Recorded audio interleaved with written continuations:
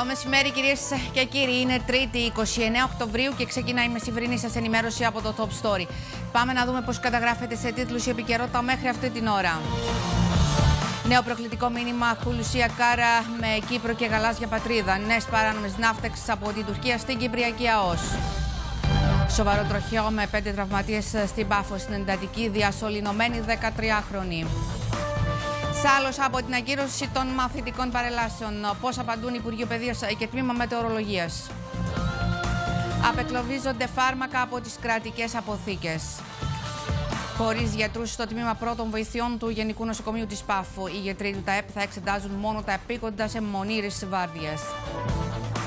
Ανακηρύχθηκε ξανά βουλευτής ο Γιώργος Παπαδόπουλος της Αλληλεγγύης. Τι δήλωσε μετά την ανακήρυξή του στην κάμερα του Capital. Νεκρός ο ηγέτης του Ισλαμικού κράτους. Στη θάλασσα ερήφθη η σωρός του. Συζητάμε με διεθνολόγο την άνοδο και την πτώση του Ισλαμικού κράτους. Βόμβα από τον Ζόραν Ζάεφ. Δεν μπορούμε να υλοποιήσουμε τη συμφωνία των Πρεσπών, την παγώνουμε, δηλώνει στο Euronews. Τα επόμενα σχέδια του τέος διευθυντή της πυροσβεστικής υπηρεσίας. Μαζί μας στο στούντιο ο Μάρκος Ράγκολας. Όλα αυτά θα τα δούμε αναλυτικά στη συνέχεια. Μείνετε συντονισμένοι διαφημιστικά μηνύματα και επιστρέφουμε.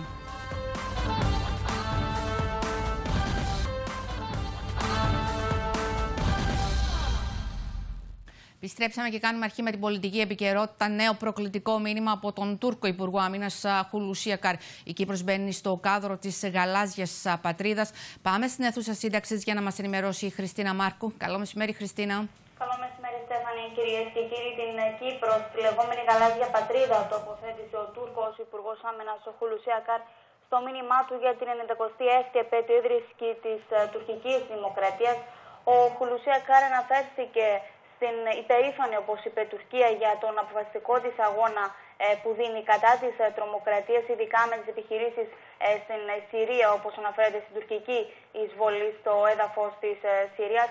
Ε, χωρίς να χάνει, όπως είπε, τον στόχο της, ενώ υπενθύμησε παρέλα Στέφανη προκλητικά και το δόγμα της γαλάζιας πατρίδας. Αναφέρθηκε στην συνέχιση της προάσπισης των δικαιωμάτων των Κύπρων αδελφών, όπως είπε, ε, στα κατεχόμενα αναφερόμενο στους ε, Τουρκοκύπρους, όπως είπε, ως εγκύτρια χώρα και στο πλαίσιο του διεθνούς δικαίου. Η Τουρκία θα συνεχίσει να προστεύει και τα δικά της δικαιώματα και των Τουρκοκυπρίων στα κατεχόμενα. Ε, ενώ να πούμε, Στέφανο, ότι και ο Τουρκό πρόεδρος, ο Ταϊπ Έρντογαν, ανέφερε ότι το έθνος και το κράτος βρίσκονται πάλι εν μέσω ενός ε, ιστορικού αγώνα παρόμοιο με τον πόλεμο της ανεξαρτησίας πριν από έναν αιώνα και αναφερόταν στους Έλληνες. Στο βιντεοσκοπημένο του διάγγελμα ε, με αφορμή την σημερινή επέτειο, ο Ταϊπ Έρντογαν τόνισε ότι και σήμερα δίδεται ένας αγώνας ανεξαρτησίας και επιβίωσης όπως και έναν αιώνα πριν, απλά με διαφορετικές μεθόδους, ανέφερε ε, ο Τσαϊπ Έρντογαν έκανε λόγο για παιχνίδι που στόχο έχει την εθνική ενότητα, ε, καθώς επίσης και για επιθέσεις με στόχο την κυριαρχία, είπε τα σύνορα, την ασφάλεια και την οικονομία της ε, Τουρκίας. Ανέφερε ωστόσο ότι η Τουρκία έχει πλέον την ιστορική εμπειρία και μια βαθιά ριζωμένη πείρα, όπως είπε ω κράτο, εδώ και έναν αιώνα, ώστε να ξεπεράσει με αποφασιστικότητα όλα τις, ε, τα προβλήματα.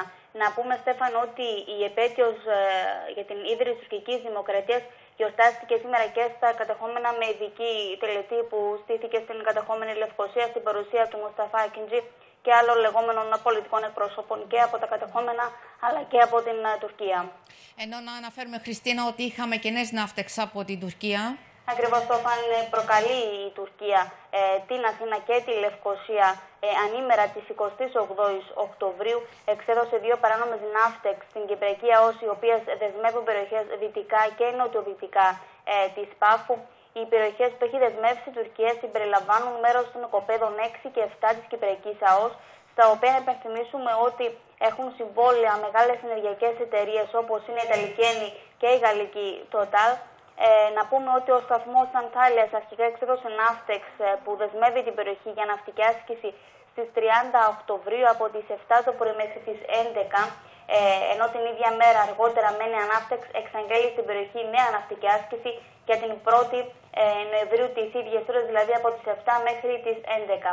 Στην συνέχεια εξέδωσε άλλη ναύτεξ, την οποία ανέφερε ότι όσα μηνύματα εκδίδονται από τον σταθμό της Λάρνακας ε, δεν έχουν καμία ισχύ, αναφέρει η ναύτεξ τη ε, Άγκυρα, αφού όπως αναφέρει η Κύπρος, που αναφέρεται στην Ναύτεξ από την Λάρακα δεν είναι το αρχικό κράτος, λέει, ιδρύθηκε το 1960. Ω εκ τούτου, η Τουρκία δηλώνει ότι ο όρος Κύπρος δεν έχει καμία μορφή αναγνώρισης με βάση τις υποχρεώσεις της Τουρκίας που απορρέουν από τη συνθήκη εγγύησης και την συνθήκη περιδρύηση του 1960, ενώ όπως καταλήγει η τουρκική ναύτεξ, οι προσπάθειες νομοποίηση των παράνομων ισχυρισμών της κυβέρνησης της Ελλάδας μέσω της νέας ναύτεξ από την, από τη Λάρνακα είναι άκυρες ε, και δεν θα γίνουν δεχτέ ούτε από την ε, Τουρκία. Ε, καταλήγει η Στέφανη Τουρκική Ναύτεξ. Ευχαριστούμε πολύ. Χριστίνα, αλλάζουμε θέμα στην εντατική του Γενικού Νοσοκομείου Λευκοσίας. Νοσηλεύεται διασωληνωμένη 13χρονη μετά από σοβαρό τροχαίο που σημειώθηκε χθες στην Πάφο. Τις λεπτομέρειες έχει η Νάταλη Γεωργίου. Καλό μεσημέρι, Νάταλη. Καλό μεσημέρι, Στέφανη. Σε κρίσιμη κατάσταση διακομίστηκε διασωληνωμένη στο Γενικό Νοσοκομείο Λευκοσίας η 13χρονη, η οποία τραυματίστηκε σε τροχαίο χθες στην Πάφο. Σύμφωνα με την αστυνομία, ο σοβαρός τραυματισμός δύο προσώπων, μιας 13χρονη και ενός 36χρονου, είναι ο απολογισμός του τροχαίου ατυχήματος που συνέβη στις 7 το απόγευμα της Δευτέρας στη λεωφόρο Γρήπα Διγενή μπροστά από τη λέσχη αξιωματικών ε, στην Πάφο. Από το τροχαίο τραυματίστηκαν ελαφρότερα οι γονείς της 13χρονη και ο 10χρονο αδελφός της. Η σύγκρουση των δύο οχημάτων ήταν με τοπική. Σύμφωνα με τις έως τώρα εξετάσεις της τροχιάς, ο οδηγός των όσο από τα εμπλεκόμενα οχήματα που κατευθυνόταν από την περιοχή της πυροσβεστικής προς το κέντρο της Πάφου εισήλθε στη λωρίδα κυκλοφορίας του δεύτερου οχήματος με αποτέλεσμα να συγκρουστούν με τοπικά. Για τον απεγκλωβισμό του 36χρονου οδηγού του ενός οχήματος χρησιμοποιήθηκε συσκευή αποπαγύρευση από την πυροσβεστική υπηρεσία Πάφου που έστρεψε στη σκηνή.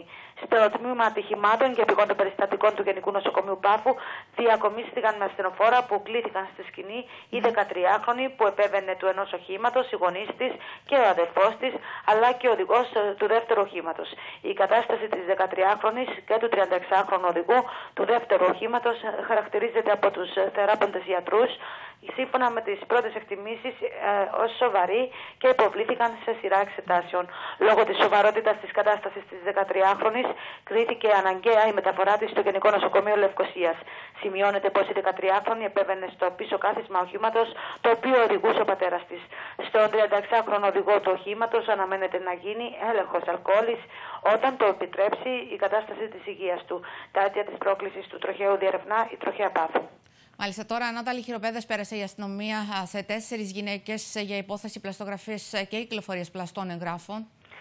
Τέσσερις ε, γυναίκες αιτήτριες πολιτικού ασύλου εντοπίστηκαν χθες στο πλαίσιο επιχείρησης της αστυνομίας με λειτουργούς του Γραφείου Επιθεώρησης Εργασίας να εργάζονται σε διαφορετικά κέντρα αναψυχής με ελληνικά έγγραφα, τα οποία θεωρείται ότι είναι πλαστά. Οι τέσσερις γυναίκες συνελήφθησαν και τέθηκαν υποκράτηση. Τα αδικήματα που αντιμετωπίζουν είναι της πλαστογραφίας και της κυκλοφορίας πλαστών εγγράφων. Οι εξετάσεις συνεχίζονται. Ευχαριστούμε, Νάταλη Γεωργίου. Παραμένουμε στο αστυνομικό ρεπορτάζ, κυρίες και κύριοι. 35χρονο έφτασε στην Κύπρο με 17 κιλά κάναβης στις αποσκευές του. Τις λεπτομέρειες έχει η Μαρίσα Βράμα. Καλό μεσημέρι, Μαρίσα. Καλό μεσημέρι, Στέφανη. Στη σύλληψη 35χρονου προχώρησε χθες η αστυνομία στο πλαίσιο διερεύνησης υπόθεσης που αφορά συνωμοσία προς διάπραξη κακουργήματος, παράνομη προμήθεια, εισαγωγή, κατοχή και κατοχή ναρκωτικών με σκοπό την προμήθεια. Ο 35χρονο συνελήφθη χθε στο αεροδρόμιο του Λάρνακα, αφού με την άφηξή του στην Κύπρο, σε έλεγχο που έγινε, εντοπίστηκαν στις αποσκευές του 15 νάιλον συσκευασίες που περιείχαν 17 κιλά και 715 γραμμάρια κάναβης. Ο 35χρονο Στέφανη οδηγήθηκε σήμερα ενώπιον του Επαρχιακού Δικαστηρίου Λάρνακας, όπου εναντίον του εκδόθηκε διάταγμα οχταήμερη κράτησης. Η ΙΚΑΝ συνεχίζει τις εξετάσεις. Μαρίσα, ευχαριστούμε πολύ. Ε, πάμε στο, στο ΓΕΣΥ τώρα. Στις αποθήκες ε, του Υπουργείου Υγείας ε, βρίσκονται εκλογισμένες δεκάδες συσκευασίες φαρμάκων, οι οποίες θα πρέπει χωρίς καθυστέρηση να διοχετευτούν στον ιδιωτικό τομέα και να διατεθούν στους ασθενείς πριν αρχίσουν να πλησιάζουν στην ημερομηνία λήξης τους. Είναι στην τηλεφωνική μας γραμμή η κυρία Γνώσια Αχνιώτου, ανώτερη λειτουργός του Οργανισμού Ασφάλισης Υγείας. Καλό μεσημέρι, κυρία Αχνιώτου. Καλό μεσημέρι για εσάς. Τις πληροφορίες αυτές δημοσιεύει σήμερα η εφημερίδα Φιλελεύθερος. Γιατί παραμένουν στις αποθήκες τα φάρμακα αυτά, Ναι, να σας εξηγήσω. Ε, αυτές οι ποσότητες είναι φάρμακα τα οποία υπήρχαν στα φαρμακεία του ΟΚΙΠΗ του δημοσίου, πρώην δημοσίου, τα οποία λειτουργούσαν μέχρι 31 Οκτώβου και μετά που έκλεισαν μαζεύτηκαν στις φαρμακευτικές αποθήκες για να διανεμηθούν ε, αφού είναι περιουσία του κράτους και βεβαίως του φορολογούμενου και πρέπει να διανεμηθούν πριν να λήξουν. Να πούμε βεβαίως ότι από αυτές τις ποσότητες ήδη ε, ο Οργανισμός Ασφαλής Υγείας σε, σε συνεργασία και με το Υπουργείο Υγείας και τις φαρμακευτικές αποθήκες προχωρούσαμε σε διανομή όταν αυτά τα προϊόντα αφορούσαν ε, ελλείψεις τα οποία ήταν, οι οποίες ήταν μοναδικές. Τώρα αυτά τα προϊόντα ε, υπάρχει μια διαδικασία αναλόγως και ποιας κατηγορίας είναι, δηλαδή αν για παράδειγμα είναι προϊόντα που έχουν είναι ακριβώς το ίδιο με κάτι που, που ε, κυκλοφορεί στον ιδιωτικό τομέα, στο ΓΕΣΥ, πρέπει να, να συσκευαστούν, να μπει ένας κωδικός πάνω για να ξεχωρίζουν από τις ε, υπόλοιπες ποσότητες. Ναι, βέβαια έχουν περάσει και δύο μήνες από τότε που έκλεισαν τα, τα δημόσια φαρμακεία, κύριε Αχνιώτου. Ναι, αλλά έπρεπε αυτά τα προϊόντα να ναι. μαζευτούν, να καταγραφούν. Και τώρα, όπως είπα, υπάρχει μια διαδικασία κατά, ε, στην οποία μπορεί να χρειάζεται να μπει γραμμικός κώδικας πάνω, ε, υπάρχει και μια διαδικασία... Είναι οποία... χρονοβόρα δηλαδή, ε, για να καταλάβουμε αυτή η διαδικασία. Ε, ναι, θα χρειαστεί κάποιο χρόνο. Και μιλάμε για, για τι ποσότητα. Ε, διαφέρει. Είναι ανάλογα με το προϊόν. Mm -hmm. Υπάρχουν ποσότητες που κάποια προϊόντα που είναι σε μεγάλες ποσότητες. Mm -hmm. Υπάρχουν άλλα που δεν, ε, δεν υπάρχει λόγος να τα κάνουμε διανομή. Θα τα καταναλώσουν και τα φάρμακια του εκεί Υπάρχουν όμως φάρμακα που αφορούν κάποια φάρμακα που σήμερα παρουσιάζουν ελλείψεις και είναι εγκλωβισμένα εκεί; Παρουσιάζουν ελλείψεις με την έννοια ότι το συγκεκριμένο προϊόν της συγκεκριμένης εταιρείας μπορεί να ε, υπάρχει έλλειψη. Όμως δεν είναι προϊόντα για τα οποία υπάρχει έλλειψη και είναι ένα προϊόν μοναδικό. Εκείνα που είναι αυτής της κατηγορίας από τον Αύγουστο ήδη τα διανέμουμε. Μάλιστα. Και ε, γνωρίζουμε ε, πότε θα διοχετευτούν τα φάρμακα αυτά στον, δηλαδή πόσο, πόσο διάστημα θα πάρει αυτή η διαδικασία; Ε, αυτή τη στιγμή δεν γνωρίζω ακριβώς. Πρέπει να έρθουμε και σε συνεννόηση με το Υπουργείο, θα δούμε και τις δικές τους διαδικασίες, ε, πώς, πόσο θα πάρουν. Εντάξει, είναι προϊόντα τα περισσότερα. Ε, είναι προϊόντα που έχουν ε, μεγάλο χρόνο ζωής ακόμη, δεν τίθεται θέμα να λήξουν. Δεν λήγουν άμεσα δηλαδή, ας πούμε, μέχρι το τέλος του, του χρόνου. Όχι, όχι. όχι. Ε, οι ελλείψεις που υπάρχουν σήμερα στα, στα φαρμακεία ποιες είναι, κυρία Χνιώτου; Ε, έχουμε ένα αριθμό ελλείψεων ε, γύρω στα 130, αλλά από αυτά τα 5 είναι μοναδικά, τα οποία, προ, ε, τα, τα οποία είτε διανέμουμε σε ιδιωτικά φαρμακεία από τις φαρμακευτικές αποθήκες, αυτά που σας έλεγα πριν, ναι. της κατηγορίας των φαρμάκων, είτε παραπέμπουμε ε, τον ασθενή στα νοσοκομιακά φαρμακεία, αν είναι ποσότητες πολύ μικρές ή πολύ λίγοι ασθενείς. Μάλιστα. Λοιπόν, ευχαριστούμε πάρα πολύ για την uh, παρέμβαση. Καλή συνέχεια να έχετε. Και εγώ σας ευχαριστώ. Στα, της, στο μέτωπο της παιδείας θα πάμε ε, τώρα. Σφοδρές ήταν χθες οι αντιδράσεις των πολιτών και των μαθητών για την ακύρωση των μαθητικών παρελάσεων για την 28η Οκτωβρίου λόγω του καιρού. Μαθητές παρέλασαν μόνοι τους χωρίς την παρουσία επισήμων. Είναι στην τηλεφωνική μας γραμμή ο εκπρόσωπος του Υπουργείου Παιδείας Σπύρος Αντωνέλος. Καλό μεσημέρι κύριε Αντωνέλο. Καλό μεσημέρι και σε εσάς. Είδαμε τις αντιδράσεις από την ακύρωση των παρελάσεων. Ήταν αχρίαστη η ακύρωση από ό,τι φαίνεται βεβαιασμένη, θα λέγατε, η απόφαση του, του Υπουργείου για ακύρωση; Δεν ήταν βεβαιασμένη καθόλου η απόφαση, ούτε περιττή, διότι 9 παρα 10, όταν πήραμε εμείς το μήνυμα στο Υπουργείο Παιδείας από τη Μετεωρολογική Υπηρεσία, η οποία εξέθετε σοβαρότατους κινδύνους από την εκδήλωση καταιγιδοφόρων φαινομένων στην ατμόσφαιρά μας, ε, και ακραίων άλλων καιρικών φαινομένων, τότε θα έπρεπε εμείς να σκεφτούμε την ασφάλεια των παιδιών πάνω απ' όλα, την υγεία τους και να ακυρώσουμε τη διοργάνωση των παρελάσεων. Αυτό ακριβώς ήταν και το κίνητρο εκείνο για να εκδοθεί η εντολή που εκδόθηκε από το Υπουργείο Παιδείας και να φτάσει 10 και 10 η τελευταία στο παραδελευταίο σημείο της Κύπρου που θα διοργανώνονταν παρελάσεις στους υπεύθυνους. Από εκεί και ύστερα το ότι πραγματοποιήθηκαν οι παρελάσεις των σχολείων σε συγκεκριμένες πόλεις αυτό έγκυται στο γεγονός ότι οι διοργανωτές εκτίμησαν ότι θα έπρεπε να πραγματοποιηθούν λόγω των καιρικών φαινομένων που επικρατούσαν. Τη δεδομένη όμως στιγμή που στάλθηκε η εντολή και έλεγε η εντολή από τις 7 έως τις 5 το απόγευμα, παρακαλούμε όχι συγκεντρώσεις, όχι τέτοιου είδους ε, καταστάσεις, τότε αντιλαμβάνεστε ότι η μεγάλη θα ήταν η ευθύνη του Υπουργού Παιδείας αν αυτά τα πράγματα συνέβαιναν και σήμερα θα θρενούσαμε χιλιάδες θύματα. Γιατί δεν είναι το γεγονός μόνο ότι θα βρέχονταν άλλα οι μαθητές μας, αλλά το πρόβλημα θα ήταν τεράστιο από τα ιστία, την πρόκληση δηλαδή ε, των διάφορων κεραυνών που θα μπορούσαν να πέφτουν, αλλά παράλληλα και η ενέργεια εκείνη από τα κινητά τηλέφωνα. Συγκεντρωμένα κατά χιλιάδες, ας πούμε, στου χώρου των παρελάσεων. Όλα αυτά συνεκτιμήθηκαν και κυρώθηκαν οι διοργανώσεις mm -hmm. Μάλιστα. Ε, ε Εσείς ως Υπουργείο, πώς αντιδράσατε στο γεγονός ότι οι μαθητές αγνόησαν α, την ανακοίνωση του, του Υπουργείου και προχώρησαν κανονικά στη διεξαγωγή των παρελάσεων; Αν οι μαθητές αγνόησαν την εντολή του Υπουργείου και ενήργησαν έτσι όπως ενήργησαν, θα έπρεπε να σκεφτούν κάτι άλλο. Στην περίπτωση όπου τα πράγματα δεν συνέβαιναν όπως συνέβηκαν χθες, δηλαδή με την εξέλιξη του καιρού και των φαινομένων που α, τελικά έφυγαν από τη δική μας ζώνη και πήγαν ίσως κάπου αλλού, τι θα συνέβαινε σήμερα, τι εθνικό πένθος θα είχε πέσει η Κύπρος για να παρελάσουν μαθητέ για την 28η Οκτωβρίου. Που το πνεύμα και το ήθος των μαθητών μας είχε καλλιεργηθεί ιδιαίτερα και στα σχολεία τους και κατά τους ενδοσχολικού εορτασμούς των προηγούμενων ημερών. Σαφέστατα λοιπόν το Υπουργείο Παιδείας δεν στάθηκε ενάντια στο, στο μένος αυτό το να παρελάσουμε, στην επιθυμία μάλλον, συγγνώμη, να παρελάσουμε και να γιορτάσουμε έτσι τη θυσία των ανθρώπων του 40. Τους ανθρώπους και τους τιμάμε και τους δοξάζουμε για αυτό που έκαναν. Αλλά από εκεί και ύστερα προέχει η δική μας ασφάλεια. Στο τέλος της ημέρας θα πρέπει να ξέρετε και το άλλο. Την ευαισθητοποίηση που είχαμε σαν Υπουργείο Παιδείας από το, από το γεγονός της κεραυνοπληξίας των προηγούμενων ημερών στον 20χρονο της Λεμεσού. Όλα αυτά τα κρέα που συνέβησαν τις μέρες τις προηγούμενες μας έδωσαν την ευκαιρία με την ε, εντολή μάλλον της μετεωρολογικής υπηρεσίας και των επιστημόνων της να ακυρώσουμε τις τελετέ. Ναι, το θέμα είναι ότι δεν επιβεβαιώθηκε όμως η πρόβλεψη της ε, μετεωρολογικής υπηρεσίας. Ε, να, αναρωτηθούμε, ναι. να αναρωτηθούμε καλύτερα τι θα γινόταν αν συνέβαινε.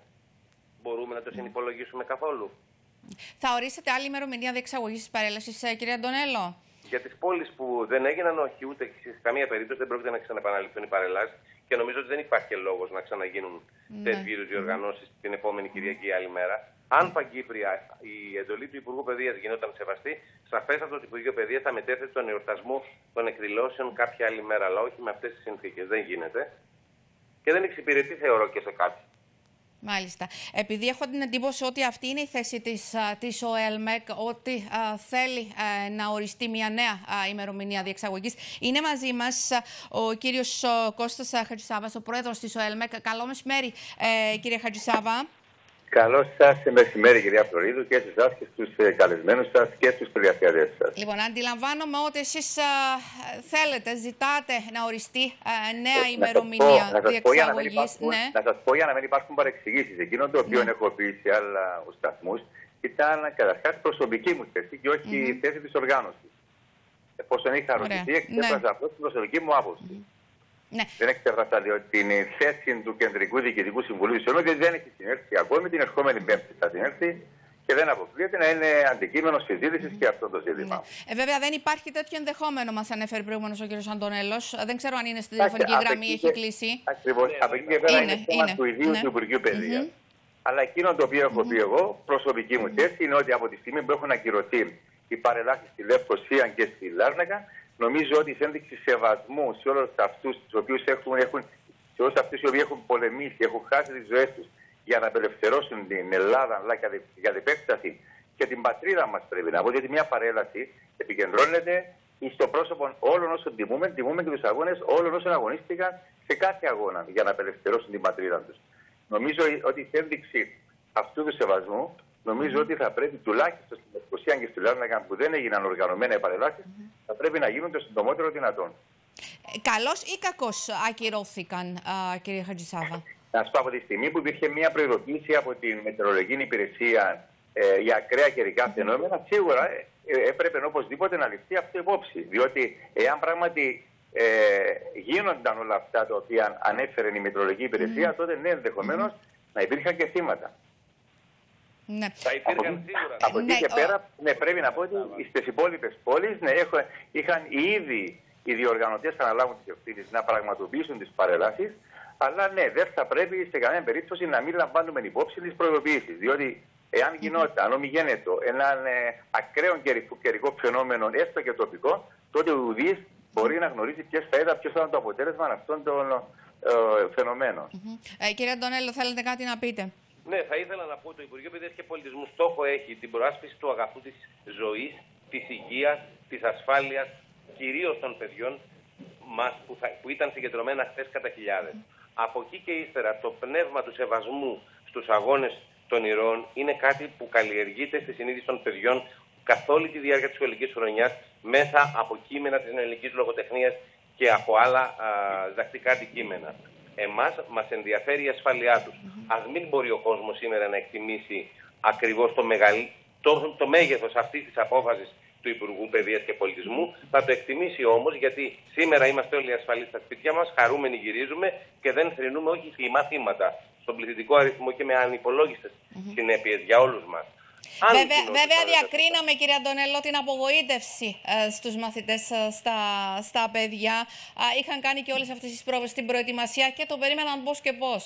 Όμως τα παιδιά καλούνται πέραν της ευαισθητοποίησης αυτής που δέχομαι ότι έχουν και τη στεναχώρια που έχουν για το γεγονός ότι δεν παρήλασαν οι γονείς τους, δεν τα καμάρωσαν να περνούν κρατώντας τις σημαίε μας και τα λάβαρα, να εκτιμήσουν κάτι πολύ σημαντικό. Είχαμε απόλυτη υποχρέωση να σεβαστούμε όλα όσα οι επιστήμονες, οι ειδικοί της μετεωρολογικής υπηρεσίας, που πολύ τους ευχαριστούμε γι' αυτό, μας έδωσαν ως δεδομένο. Από εκεί και ύστερα δεν μπορούμε να κάνουμε κάτι άλλο τα παιδιά μας καλά θα κάνουν να συνειδητοποιήσουν δύο πράγματα. Ότι η ζωή μπορεί να κοπεί ανα πάσα στιγμή, ότι είναι ένα νήμα και καλά θα κάνουμε να το προασπίζουμε και να το ασφαλίζουμε.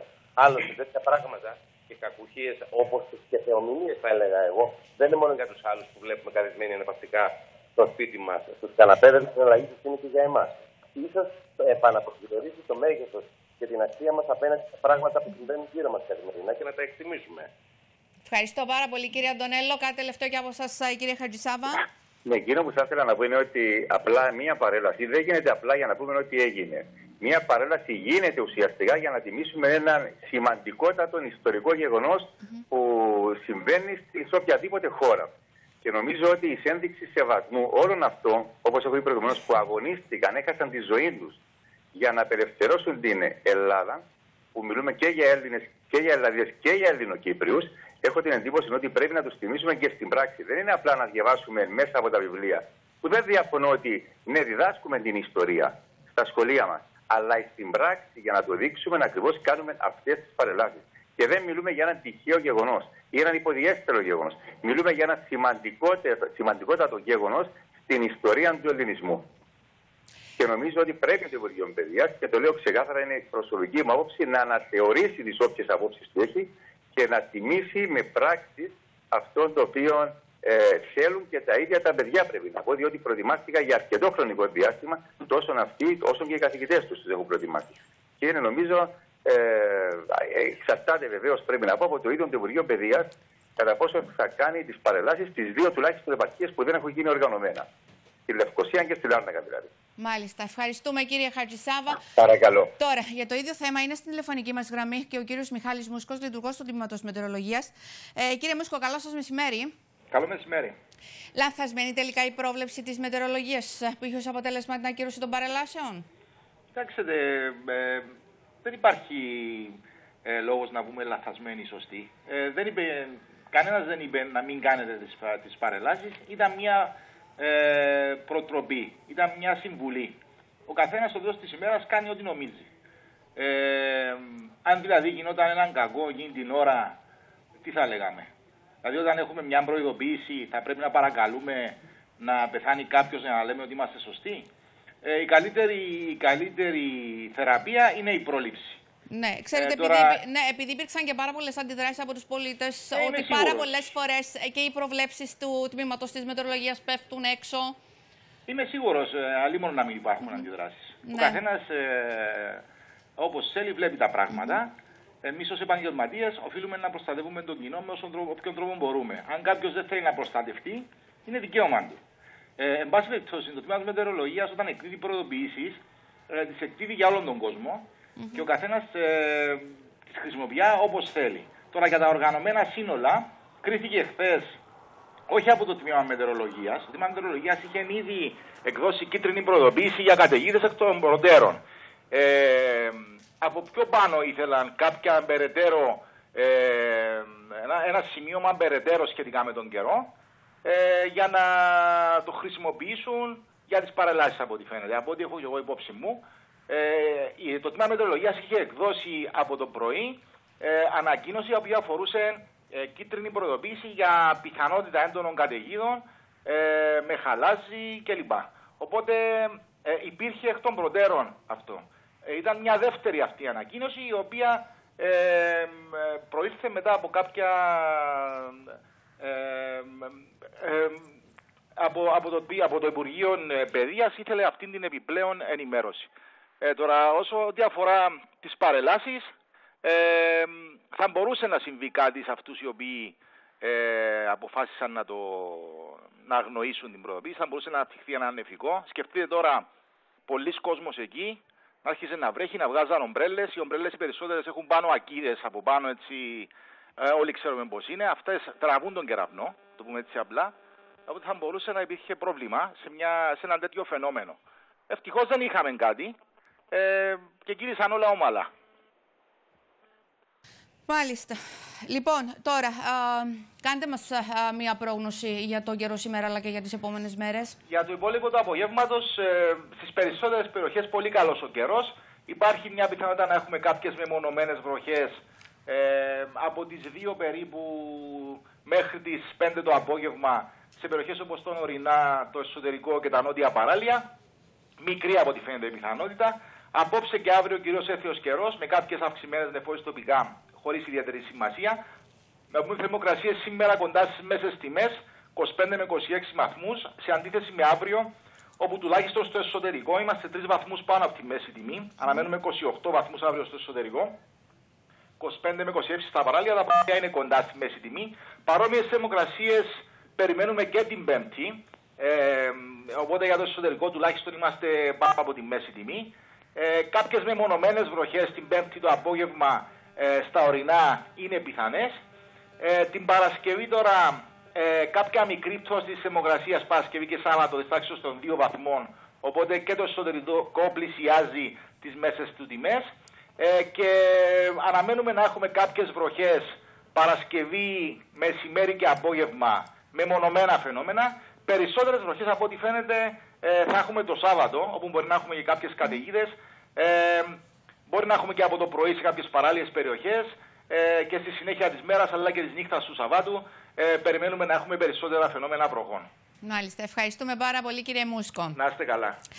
Ε, γυρίζουμε σελίδα. Πάμε εκτός συνόρων. Βόμβα έσκασε από τον Ζόραν Τζάεφ η άρνηση των Ευρωπαίων να ορίσουν ημερομηνία έναρξης των ενταξιακών διαπραγματεύσεων στη Βόρεια Μακεδονία. Θέτει σε κίνδυνο τη συμφωνία των Πρέσπων, προειδοποιεί ο Πρωθυπουργός της χώρας σε συνέντευξή του στο Euronews. Η άρνηση των Ευρωπαίων στο να δοθεί ημερομηνία έναρξης ενταξιακών διαπραγματεύσεων στη Βόρεια Μακεδονία θέτει ενδεχομένως σε κίνδυνο τη Συμφωνία των Πρεσπών, δήλωσε ο Ζόραν Τζάεφ.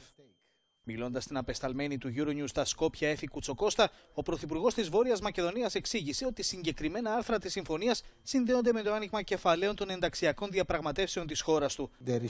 Δεν υπάρχει δυνατότητα υλοποίησης της Συμφωνίας των Πρεσπών. Μέρος της θα παγώσει, διότι δεν είναι δυνατή η εφαρμογή της. Θα προσπαθήσουμε να υλοποιήσουμε κάποιες διατάξεις, όμως τα δύο συνδέονται μεταξύ τους, διότι η διαδικασία εναλλαγής των κεφαλαίων σημαίνει ότι θα παραδώσουμε την εθνική μας κυριαρχία στην Ευρωπαϊκή Ένωση. Ο Ζόραν Ζάεφ τόνισε πως η ευρωπαϊκή προοπτική είναι η μοναδική επιλογή για τη χώρα του και εν γέννη τα Δυτικά Βαλκάνια, διότι σε διαφορετική περίπτωση οι εξελίξεις θα είναι δυσάρεστες τόσο για την περιοχή όσο και για ολόκληρη τη γυραιά Ήπειρο. Αν τα φώτα από τα άστρα στη σημαία της Ευρωπαϊκής Ένωσης σβήσουν, τότε εδώ θα πέσει σκοτάδι. Και στο σκοτάδι θα χάσουμε τους εαυτούς μας. Διότι αν υπάρξει θετικό έδαφος για ριζοσπαστικοποίηση, για την επάνωδο του εθνικισμού, αυτό θα προκαλέσει μεγάλη ζημιά σε όλα τα Βαλκάνια. Και όταν τα Βαλκάνια έχουν πρόβλημα, τότε η Ευρώπη θα έχει πρόβλημα. Ω Προεδρεύουσα του Συμβουλίου της Ευρωπαϊκής Ένωσης από 1η Ιανουαρίου, η Κροατία θα προσπαθήσει να μεταπίσει όσους δεν πίστηκαν για το εγχείρημα της διεύρυνσης, δηλώνει στη Μελίνα του Χτίδου ο Κροάτης Πρωθυπουργός. Φιλοδοξούμε να μιλήσουμε σε όσους δεν πίστηκαν και να τους πούμε ότι είναι καλύτερο για τη σταθερότητα της περιοχής και για το ευρωπαϊκό μέλλον της γειτονιάς μας η διαδικασία αυτή να ξεκινήσει. The process starts. Ολόκληρες οι συνεντεύξεις του Ζόραν Ζεφ και του Αντρέι Πλένκοβιτ στην εκπομπή Global Conversation του Euronews. Επιστρέφουμε στα δικά μας. Στην Αθήνα βρίσκεται ο πρόεδρος Αναστασιάδης για την Τρίτη Ευρωαραβική Σύνοδο. Πάμε στον πολιτικό μας συντάκτη Μάριο Καμιναρίδη. Καλό μεσημέρι, Μάριε. Στέφανη, καλό μεσημέρι, κυρίε. Ο πρόεδρος Αναστασιάδης θα χαιρετήσει τις εργασίες της Συνόδου που ξεκίνησαν στις 9 το πρωί στο Μεγάρο Μουσικής με ομιλία του Έλληνα Πρωθυπουργού. Ε, τι άλλο περιλαμβάνει η, η ατζέντα του πρόεδρου Μάριε; Εκτός από αυτό που έχεις αναφέρει η Στέφανη, αναφέρουμε ότι το απόγευμα σήμερα θα έχει συνάντηση με τον πρόεδρο και αρχηγό της αξιωματικής αντιπολίτευσης, τον κύριο Αλέξη Τσίπρα. Ε, αύριο ο πρόεδρος της Δημοκρατίας θα έχει συνάντηση με τον πρωθυπουργό της Ελλάδας, ε, βεβαίως ε, για Κυπριακών, ε, με τον κύριο Κυριάκον ε, Μητσοτάκη στο Μέγαρο Μαξίμο και ακολουθώς θα συναντηθεί με τον πρόεδρο της Ελληνικής Δημοκρατίας Προκόπη Παυλόπουλος στο Προεδρικό ε, Μέγαρο. Να αναφέρω ότι αύριο ο πρόεδρος ε, της Δημοκρατίας θα βρίσκεται στη Θεσσαλονίκη όπου το βράδυ ε, σε ειδική τελετή ε, θα αναγορευτεί σε επίτιμο διδάκτορα της νομικής σχολής στο Αριστοτέλειο Πανεπιστήμιο. Η τελετή θα πραγματοποιηθεί και πάλι στο Μέγαρο Μουσικής όμως αυτή τη φορά στη Θεσσαλονίκη και την ίδια ημέρα ο πρόεδρος Δημοκρατίας θα έχει συνάντηση με μέλη της Κυπριακής Παρικίας ε, και τους απόδημους ε, Κύπρους που βρίσκονται στη Θεσσαλονίκη και αναμένεται να επιστρέψει σε μερικές μέρες πίσω και εντάχει να αναφέρονται μαζί με τον πρόεδρο. Συνοδεία είναι και ο κυβερνητικός εκπρόσωπος, ο κύριος Προδρόμο και υπηρεσιακούς παράγοντες ε, που βρίσκονται στον πλευρό του πρόεδρου της Δημοκρατίας σε αυτόν το ε, ταξίδι στην Αθήνα. Στέφανη. Στο κοινοβουλευτικό ρεπορτάζ τώρα, Μάρια, παρουσιάστηκε σήμερα ο κρατικός προπολογισμό ενώπιον της Επιτροπής Οικονομικών της Βουλής. Έτσι ακριβώς ο Υπουργός Οικονομικών, ο κ. Σάρη Ιριάδη, ανακοίνωσε ότι ξεκινάει η διαδικασία για πρόορη εξόφληση δάνειο από το Διεθνές Νομισματικό Ταμείο, το οποίο ανέρχεται στα 690 εκατομμύρια. Η Κύπρος ε, σήμερα μπορεί και δανείζεται από τις αγορές με χαμηλότερο επιτόκιο. Το επιτόκιο του Ντουνουτού ε, είναι σχεδόν 2%, ενώ από τις αγορές το επιτόκιο είναι μισό ε, αυτού του ποσού, δηλαδή στο 1% αναλύοντας ε, το προπολογισμό του κράτους ε, τον 7ο επί ειδικής του ε, Υπουργείας ενώπιον της Επιτροπής Οικονομικών της Βουλής απαρατνήσεν τις 10 πιο σημαντικές μεταρρυθμίσεις τις οποίες προωθεί η κυβέρνηση. Αυτή βεβαίως είναι η τοπική αυτοδιοίκηση, το δικαστήριο της δημόσιας υπηρεσίας, τη σύσταση Υπουργείου Καινοτονία και ψηφιακής πολιτικής, ο επενδυτικός νόμος για απλοποίηση των διαδικασίων, νέα εποπτική αρχή για τον τομέα της ασφάλειας και της ε, τεχνολογίας, ε, με τροχοποίηση της ΣΥΤΑΣ, η παραχώρηση του κρατικού λαχείου, η μετοχοποίηση ή ιδιωτικοποίηση του χρηματιστήριου και τον τελευταίο το 2020 υπάρχει ενώπιον της Βουλής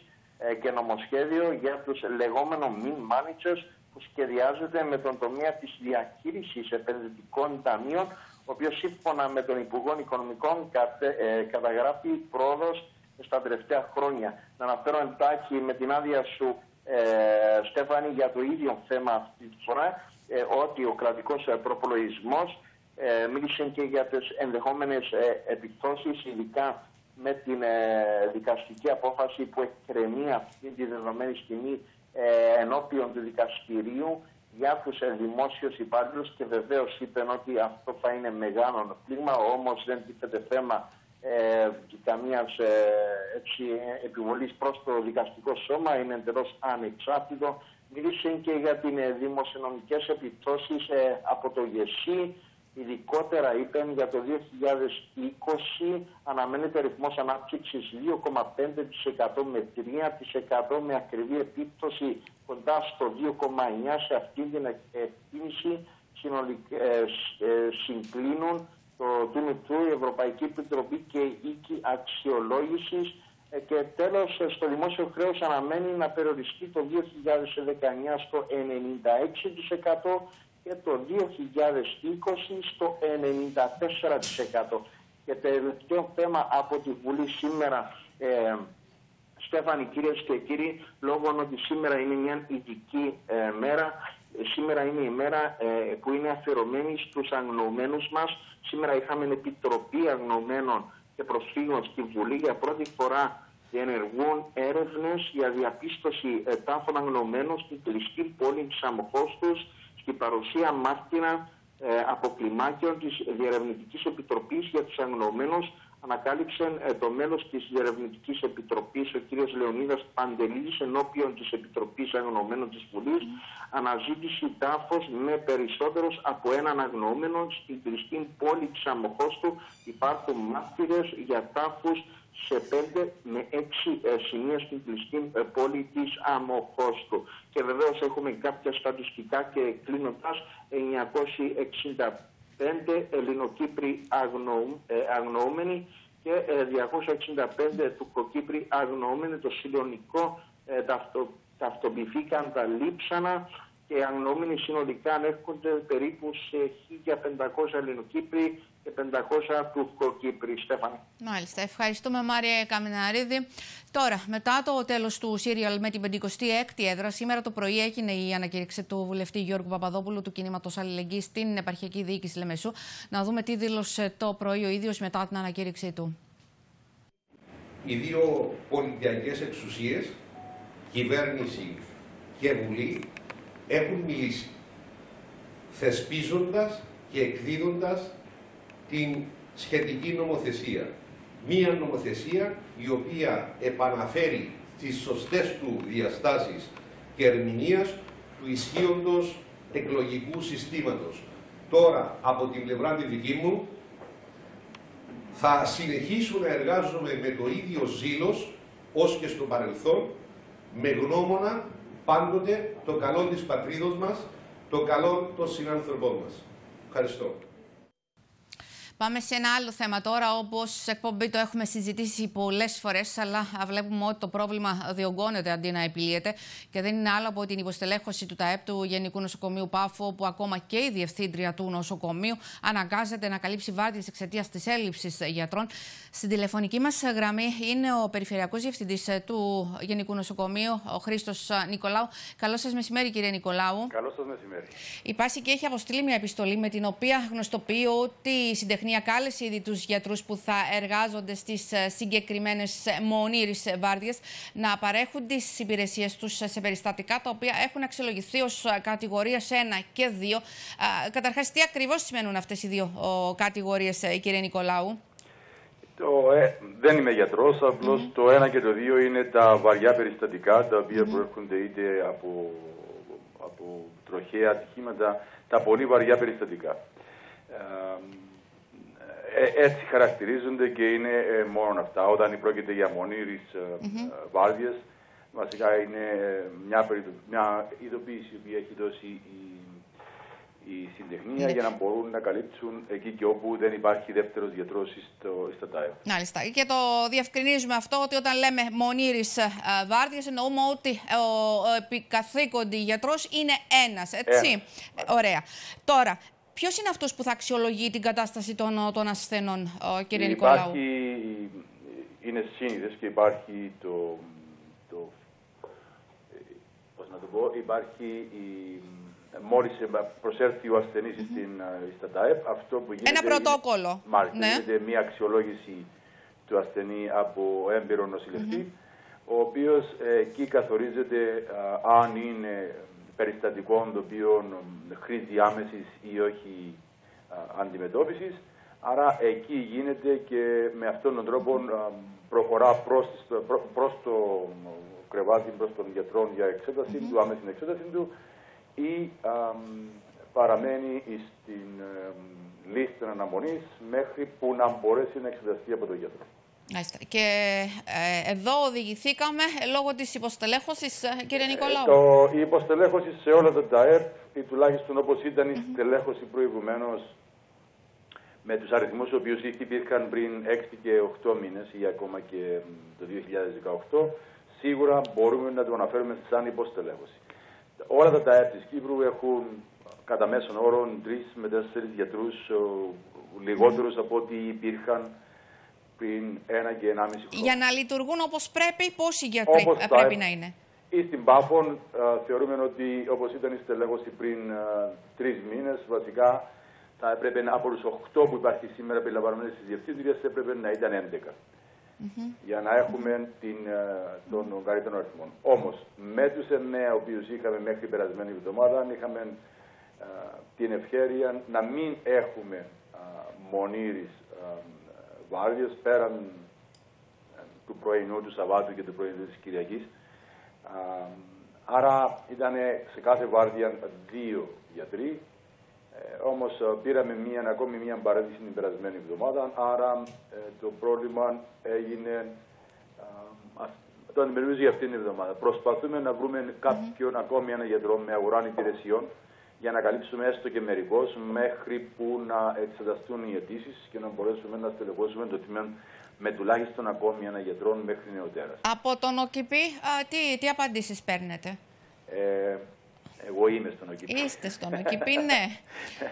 Ε, αυτό που γίνεται τους τελευταίες έξι προκηρύξεις από τις αρχές του χρόνου, επειδή είδαμε αυτό το κείμενο, έχουμε κάνει αρκετές προκηρύξεις, οι οποίες βασικά θέλαμε να πάρουμε γιατρούς για τα ΤΑΕΠ, δηλαδή με τις τέσσερις ειδικότητες, τις οποίες βασικά αυτό ήταν και το ζητούμε. Οι πρώτες ένα-δύο προκηρύξει δεν είχαν και την καλύτερη ανταπόκριση, όμως στι τελευταίες δύο και τώρα είναι η τρίτη προκήρυξη, βλέπουμε μια μεγάλη ανταπόκριση. Δηλαδή, μπορώ να σας πω ότι η προκήρυξη η οποία έληξε αρχές Οκτωβρίου είχαμε 8 και 12, 12 γιατρούς τους οποίους αξιολογήσαμε τρεις ημέρες, τρεις εργάσιμες ημέρες μετά την, την λήξη της προκήρυξης και είμαστε στη διαδικασία των προσλήψεων με την έννοια ότι κάποιοι από αυτούς θα πρέπει να δώσουν παρέτηση από εκεί που εργοδοτούνται σήμερα επειδή ο, ο μεγαλύτερος αριθμός είναι συνήθως Ελλαδίτες, ναι. άρα τους παίρνει και κάποιο χρόνο για να δώσουν παρέτηση, να μετακομίσουν, και όλα αυτά τα ζητούμενα τα οποία και τα διαδικαστικά τα οποία χρειάζεται να γίνουν. Ε, ναι. Παίρνει κάποιον χρονικό διάστημα, ελπίζουμε να καλύψουμε α, τις μεγάλες ανάγκες όλων των νοσοκομείων και ειδικότερα των μεγαλύτερων των νοσοκομείων για να μην έχουμε αυτά τα φαινόμενα. Υπάρχει ενδιαφέρον όμως από τον ιδιωτικό τομέα α, για αγορά α, Υπάρχουν υπηρεσιών; Υπάρχουν γιατροί οι οποίοι οι οποίοι μπορούν να καλύψουν και σε αυτή τη φάση υπάρχουν τουλάχιστον στην Πάφων δύο γιατροί οι οποίοι, οι οποίοι είναι με αγορά υπηρεσιών. Είναι στο στάδιο της, της έγκρισης τους είναι πάνε για, για ειδικότητα, άρα είναι γιατροί οι οποίοι έχουν, ε, έχουν δουλέψει και αποφασίσαν να κάνουν μια ειδικότητα, άρα σε αυτή τη φάση μπορούν να εξυπηρετήσουν τα συμβάντα των, των, των πρώτων βοηθειών. Ναι. Και είναι από αυτούς που αγοράζουμε, αγοράζουμε υπηρεσίες, διότι είναι α, πολύ πιο γρήγορη διαδικασία α, να γίνει και είναι με αυτόν τον τρόπο τον οποίο εκεί και όπου χρειάζονται κάπου στα γρήγορα να καλύψουμε κάποιες, κάποια κενά, το κάνουμε μέσω αγοράς υπηρεσιών. Μάλιστα. Και κάτι τελευταίο, κύριε Νικολάου, επειδή οι νοσηλευτές είναι αυτοί οι οποίοι κάνουν την, την αξιολόγηση του ενός περιστατικού. Ε, τι θα γίνει στην περίπτωση που γίνει ένα λάθος, γιατί δεν είναι ε, γιατροί, έτσι; Η... Ποιος θα αναλάβει την ευθύνη; Το θέμα της ευθύνης είναι αυτό το οποίο έχει επανελειμμένα έχει έρθει στην επιφάνεια, αλλά την, την αξιολόγηση των ασθενών και την κατάταξη τους στις διάφορες ειδικότητες δεν είναι σημερινό φαινόμενο. Είναι κάτι το οποίο γίνεται από ανέκαθεν. Άρα η υπηρεσία, είμαστε σίγουροι ότι έχει δώσει στα άτομα που έχει δώσει τους νοσηλευτές με τη μεγαλύτερη εμπειρία την ευχαίρεια να κάνουν αυτή τη διαλογή λόγω εμπειρίας και λόγω κατάσταση. Άρα δεν είναι θέμα να είναι γιατρός ή νοσηλευτή, είναι θέμα ότι η υπηρεσία αυτόν έχει ίδια και αυτό γίνεται από χρόνια. Δεν είναι σημερινό φαινόμενο. Μάλιστα. Λοιπόν, να σας ευχαριστήσουμε πολύ για αυτή την παρέμβαση. Ε, είναι ενδιαφέρον να δούμε και τι απαντούν, πώς βλέπουν ήδη οι νοσηλευτές ε, ε, το θέμα αυτό. Είναι μαζί μας τηλεφωνικός ο, ο Γενικός Γραμματέας της Πασινό, Παναγιώτης Γεωργίου. κύριε Γεωργίου, καλό μεσημέρι και σε εσάς. Καλό μεσημέρι και σε εσάς και στου τηλεθεατές σας. Ήδη οι νοσηλευτές κάνουν τη διαλογή των ασθενών, κύριε Γεωργίου. Το ερώτημα είναι, μπορεί ένας νοσηλευτής να κατηγοριοποιήσει ένα ασθενή να αξιολογήσει σωστά την κατάσταση της υγείας του; Σίγουρα μπορεί να κατηγοριοποιήσει και σίγουρα μπορεί να κρίνει. Το θέμα είναι όμως ότι υπάρχουν περιπτώσεις περιστατικών που ανα πάσα στιγμή μπορεί από τρία και τέσσερα που θεωρούνται μη σοβαρά να εξελιχθούν σε έναν και δύο. Οπότε αντιλαμβάνεστε ότι ο νοσηλευτής mm πρέπει να είναι σε γρήγορση ανα πάσα στιγμή. Το ότι όμως μένουμε κάποιες φορές με ένα γιατρό, αυτό μας βαραίνει ακόμα περισσότερος σε ευθύνες και εργασία και είναι αυτό που μας προβληματίζει έντονα. Ναι, ότι δηλαδή ε, σας προβληματίζει ε, γιατί ε, επομίστε εσείς... Μας προβληματίζει ναι. αρκετά γιατί σε περιπτώσεις επίγοντων περιστατικών όπως για παράδειγμα αυτό που είχαμε χτες με το, με το σοβαρό τροχείο στην Πάφων αν δεν υπήρχαν μέσα δύο γιατροί και ήταν την απογευματινή βαριά την οποία υπήρχε ένας γιατρός μέσα τότε θα είχαμε πρόβλημα στο να καλύψουμε και τους έξι τους τραυματίες την ίδια στιγμή. Είναι αυτό που μας φοβίζει το ότι μπορεί ανα πάσα στιγμή να βρεθούμε εκτεθειμένοι. Έχουμε mm. στείλει επιστολές για το θέμα τόσο στον Οκυπίο όσο και στο Υπουργείο Παιδείας, όπου λέμε ότι δεν θα δεχτούμε να την πληρώσουν οι νοσηλευτές σε περίπτωση που έχουμε οτιδήποτε απρόοπτο ή κάτι το σοβαρό το οποίο θα είναι λάθος, που θα γίνει λάθος. Ναι, το αντιλαμβανόμαστε αυτό που λέτε. Έχει ήδη, ναι. ήδη οι νοσηλευτές εργάζονται με αρκετός ζήλο και αφοσίωσης και έχουν ξεπεράσει αυτό. Νομίζω αυτό είναι γενικώς παραδεκτό. Mm Αν έρθει οποιοδήποτε δημοσιογράφος να δει τις κατάστασεις που υπάρχουν και επικρατούν μέσα στις πρώτες βοήθειες. Ε, ε, δύσκολα τα πράγματα, ε, δυστυχώς οι συνάδελφοι φωνάζουν, αλλά τα χέρια μας είναι δεμένα. Εκτός που να μπορέσουμε να τα λέμε έτσι κάποιες φορές τηλεοπτικά ή να τα λέμε και στον ΟΚΙΠΗ και στο Υπουργείο, δεν είναι πολλά τα πράγματα που μπορούμε να κάνουμε αυτή τη στιγμή. Γιατί μια λύση που είναι να κατέρθουμε σε απεργία ή διαμαρτυρία θα, θα δυσκολεύσει ακόμα πιο πολύ τα πράγματα και δεν είναι κάτι το οποίο επιθυμούμε αυτή τη στιγμή να κάνουμε. Ναι, στην τελευταία συνάντηση, κύριε Γεωργίου, που είχατε όμως με τον ΟΚΙΠΗ, δεν τα είχατε βρει, δεν είχαμε μια θετική α, κατάληξη. Αυτό θυμάμαι.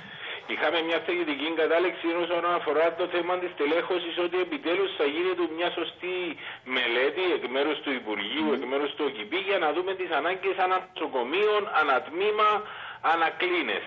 Ναι. Το θέμα είναι όμως ότι για τις πρώτες βοήθειες αυτό που είχαμε μπει εμείς και θα βοηθήσει σε κάποιο βαθμό, αλλά δεν θα λύσει εντελώς το πρόβλημα, είναι να διαχωριστούν οι νοσηλευτές σε αυτούς που είναι στα ασθενοφόρο και για αυτούς που είναι στις πρώτες βοήθειες. Γιατί αυτή τη στιγμή έχουμε νοσηλευτές που εκτελούν δι, διπλό ρόλο και στα ασθενοφόρα και στις πρώτες βοήθειες, με αποτέλεσμα αυτό να δυσχεραίνει ακόμα περισσότερο το έργο τους. Αλλά δεν είναι μόνο αυτό το πρόβλημα. Το πρόβλημα βρίσκεται στην έλλειψη χώρου, εξεταστηρίων, στην έλλειψη κρεβατιών πάνω στους σαλάμους για να μπορέσουν να μεταφερθούν κάποια πράγματα, να μην στηβάζονται όλες τις πρώτες βοήθειες και στην έλλειψη των γιατρών. Ναι. Ε, πείτε μου κάτι τελευταίο. Ε, έχει ε, την αρμοδιότητα, αν θέλετε, ο νοσηλευτής να διώξει έναν ασθενή, τον οποίο κρίνει ότι δεν είναι ε, σοβαρή κατάστασή του; Δεν έχει την αρμοδιότητα να ναι. διώξει, όμως οφείλουμε να είμαστε ειλικρινείς με τους ασθενείς και να τους λέμε ότι δεν θα εξυπηρετηθούν άμεσα και θα πρέπει να περιμένουν. Ναι, περιμένουν και πολλές ώρες όμως. Ε, πολλές φορές για κάτι 7 ώρα έχουμε ακούσει 8 ώρα. Υπάρχει μόνο ένας γιατρός μέσα και ναι. όταν είναι ένας γιατρός, δηλαδή μόνο τα επίγοντα, αντιλαμβάνεστε ότι τα, αυτά που βαθμολογούνται στα 4 και στο 5 δεν θα τα δει. Μάλιστα. Οπότε είναι λογικό να περιμένουν τα περιστατικά τζίνα. Δεν θα τα δει. Θέλουμε να τους ενημερώσουμε ότι θα περιμένουν. Δεν ναι. διώχνουμε ναι. κανέναν όμως. Ναι. Τους βλέπετε όμως στο τέλος. Εμείς ναι. τους βλέπουμε, τους αξιολογούμε. Και τους επαναξιολογούμε και σε τακτά χρονικά διαστήματα, γιατί σας είπα ότι το ναι. 4 και το 5 mm. μπορεί ανά πάσα στιγμή να γίνει ένα και δύο και να έχουμε πιο σοβαρό περιστατικό. Μάλιστα. Λοιπόν, ευχαριστώ πολύ και σας, κύριε Γεωργίου. Καλή συνέχεια. Καλή συνέχεια και σε εσάς. Αλλάζουμε εντελώς θέμα και κλίμα. Το Τεχνολογικό Πανεπιστήμιο Κύπρου συμμετείχε στην πολύ παραγωγική αποστολή των φόρεων της Λεμεσού, που πραγματοποιήθηκε μεταξύ 25 και 28 Οκτωβρίου, όπου ανέπτυξαν πρωτοβουλίες και δράσεις για περαιτέρω σύσφυξη των σχέσεων της πόλης της Λεμεσού με την πόλη της Αλεξάνδρεια. Είναι μαζί μας τώρα στο τηλέφωνο ο κ. Χαράλαμπος Χρυσοστόμου, ο οποίος συμμετείχε στην αποστολή εκ μέρους του ΤΕΠΑΚ. Καλό μεσημέρι, κύριε Χρυσοστόμου. Καλό σα μεσημέρι, καλό μεσημέρι και στους τηλεθεατές. Καλώς ήρθατε, ολοκληρώθηκε η αποστολή. Ε, μεταφέρετε μας το αποτέλεσμα και τις εμπειρίες σας. Ε, ήταν μια πάρα πολύ ε, παραγωγική ε, αποστολή, η οποία, στην οποία συμμετείχαν πάρα πολλοί φορείς της Λεμεσού, ο Δήμος, ο Ναυτικός Όμιλος της Λεμεσού, το Ιστορικό Αρχείο της πόλης, το Τεχνολογικό Πανεπιστήμιο, το ΣΑΛΑ, ο Σύνδεσμος Λεμεσανών με καταγωγή από την Μικρασία και την Αίγυπτο. Και ε, έχει γίνει μια πάρα πολύ παραγωγική δουλειά σε πάρα πολλούς τομείς ε, και στα ζητήματα της συνεργασίας του Δήμου της Λεμεσού μαζί με την πόλη της Αλεξάνδρειας, στην παρουσία του ίδιου του κυβερνήτη της Αλεξάνδρειας. Έχουν τροχιοδρομηθεί διάφορες αλλά και στα θέματα των ναυτιλιακών και της θαλάσσιας συνεργασίας, στα επιστημονικά και τα ερευνητικά ζητήματα, αλλά και στα ζητήματα τα ιστορικά και τα πολιτισμικά με την, ε, με την μνημόνιο συνεργασίας που έγινε του Ιστορικού Αρχείου και του συνδέσμου Πτολεμαίος των Ελλήνων ε, του, του, του, του, ε, της Αλεξάνδρειας. Όσον αφορά το Τεχνολογικό Πανεπιστήμιο, είχαμε την ευκαιρία μαζί με τους συναδέλφους της Αποστολής, τον Διευθυντή της Βιβλιοθήκης, τον Μάριο Τοζέρβα και ε, τον ακαδημαϊκό τον Μαρίνο τον Ιωαννίδη που είναι ο πρόεδρος της έδρας UNESCO στο Τεχνολογικό Πανεπιστήμιο και την ε, διευθύντρια του Κέντρου Γλωσσών του Πανεπιστημίου της Σαλόμη την Παπαδήμα. Είχαμε την ευκαιρία με μια σειρά επαφών με πάρα πολύ σημαντικούς mm-hmm. φορείς της Αλεξάνδρειας και ε, με το ίδιο τον, το Πατριαρχείο και τον Πατριάρχη Αλεξαν, Αλεξανδρίας και Πάσης Αφρικής αλλά και με υπευθύνους της μεγάλης της σπουδαίας βιβλιοθήκης της Αλεξάνδρειας καθώς και ε, με τον Πρίτανη και τον πρόεδρο του Πανεπιστημίου της Αλεξανδρίας. ε, πείτε μας λίγο για το μνημόνιο συνεργασίας μεταξύ του ΔΕΠΑΚΑ και του Πατριαρχείου της Αλεξάνδρειας, το οποίο υπογράψατε. Ναι, στην επαφή που έγινε, στην επαφή που έγινε στο Πατριαρχείο, ε, εκείνο που, που, έχουμε κάνει αγαπητοί Στέφανη είναι το εξής. Ε, έχουν εντοπιστεί και οι κοινές δράσεις αλλά και οι ανάγκες οι άμεσες που έχει το Πατριαρχείο Αλεξανδρίας αυτή τη στιγμή, κυρίως στην ψηφιοποίηση του μεγάλου του ιστορικού αρχείου πολλών αιώνων ε, του Πατριαρχείου για σκοπούς διατήρησης και συντήρησης του που χρειάζεται να ψηφιοποιηθεί αλλά και της ε, οικουμενικής αποστολής που κάνει σε όλη την Ήπειρο της Αφρικής για την εκμάθηση της ελληνικής γλώσσας η Θεολογική Σχολή του Πατριαρχείου με οικοτρόφους παιδιά από πάρα πολλές χώρες της Αφρικής. Και εδώ ακριβώς το Τεχνολογικό Πανεπιστήμιο μπορεί να συμβάλλει και να συνδράμει σε αυτή την προσπάθεια. Καταγράψαμε την βούλησή μας και την, ε, και την ε, πρόθεσή μας να προχωρήσουμε, να συμβάλλουμε και η βιβλιοθήκη και η ερευνητική μονάδα ψηφιοποίησης του καθηγητή Μαρίνου Ιωαννίδη στην ψηφιοποίηση του, του Μεγάλου Ιστορικού Αρχείου του Πατριαρχείου της Αλεξάνδρειας, αλλά και το Κέντρο Γλωσσών του, του Πανεπιστημίου μας στην προσπάθεια εκμάθησης της ελληνικής γλώσσας παιδιών που φοιτούν στην Θεολογική Σχολή και κατάγονται από χώρες της Αφρικής. Αυτή η προσπάθεια θα επισημοποιηθεί στην μεγάλη επίσημη επίσκεψη του Πατριάρχη που θα γίνει στη Λεμεσό μέσα στον Νοέμβριο για να εορταστούν τα 1400 χρόνια ε, της, ε, του, από το θάνατο του πολιούχου Αγίου της Λεμεσού, του, του, Ιωάννη, του, του Αγίου Ιωάννη του Ελεήμονα που ήταν και Πατριάρχης Αλεξάνδρειας και στην παρουσία του Πατριάρχη θα υπογραφεί αυτό το πρωτόκολλο συνεργασίας για να μπορέσει το Τεχνολογικό Πανεπιστήμιο να προχωρήσει και να συμβάλλει στην ψηφιοποίηση του αρχείου αλλά και τη στήριξη του οικομενικού, του ιεραποστολικού έργου του Πατριαρχείου. Μάλιστα. Άρα θα αναμένουμε λοιπόν μια ανάλογη έτσι, αποστολή από την Αλεξάνδρεια στην, στην Κύπρο. Ε, ναι, ναι. Είναι πολύ σημαντικό, αγαπητή Στέφανη, αν έχουμε λίγο χρόνο, να προσθέσω και το εξής.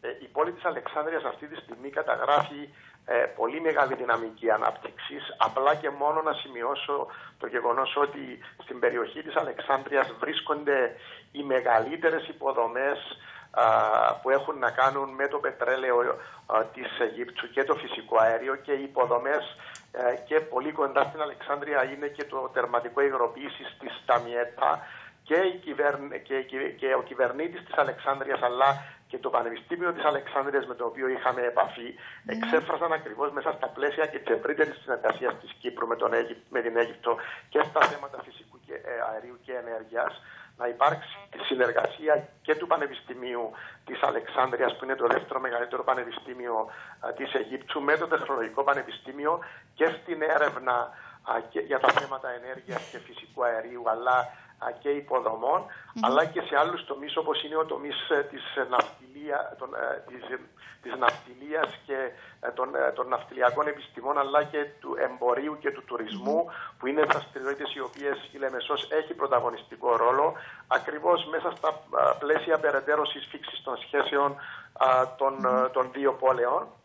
Και επίσης εξίσου σημαντική είναι και η επαφή που έγινε με την μεγάλη βιβλιοθήκη της Αλεξάνδρειας η οποία εκτίστηκε τα τελευταία δέκα χρόνια ένα πανέμορφο οικοδόμημα με την στήριξη και της ελληνικής κυβέρνησης ε, και έχει σαν σκοπό την αναβίωση της ε, μεγάλης, της περίφημης βιβλιοθήκης της Αλεξάνδρειας στην αρχαιότητα μαζί ε, με την Πανεπιστημιακή και Δημοτική Βιβλιοθήκη την ΤΕΠΑΚ εδώ στη Λέμψο ακριβώς για να αναπτυχθούν και κοινές δράσεις μεταξύ των δύο φυσικών. Όλη αυτή το επίπεδο συνεργασίας θεωρώ θα συμβάλλει πάρα πολύ πέραν από τη σύσφυξη των σχέσεων ε, και στην ανάπτυξη δράσεων που έχουν να κάνουν με δράσεις της Λεμεσού όπως είναι τα ναυτιλιακά, όπως είναι τα τουριστικά, όπως είναι η αυτοπλοϊκή σύνδεση μεταξύ ε, του λιμανιού της Λεμεσού και της ε, Αλεξάνδρειας αλλά και άλλες πολλές δράσεις που μπορούμε να αναπτύξουμε. Πολύ σημαντικές. θα ήθελα να σας ρωτήσω κάτι τελευταίο, ο, κύριε Χρυσοστόμ.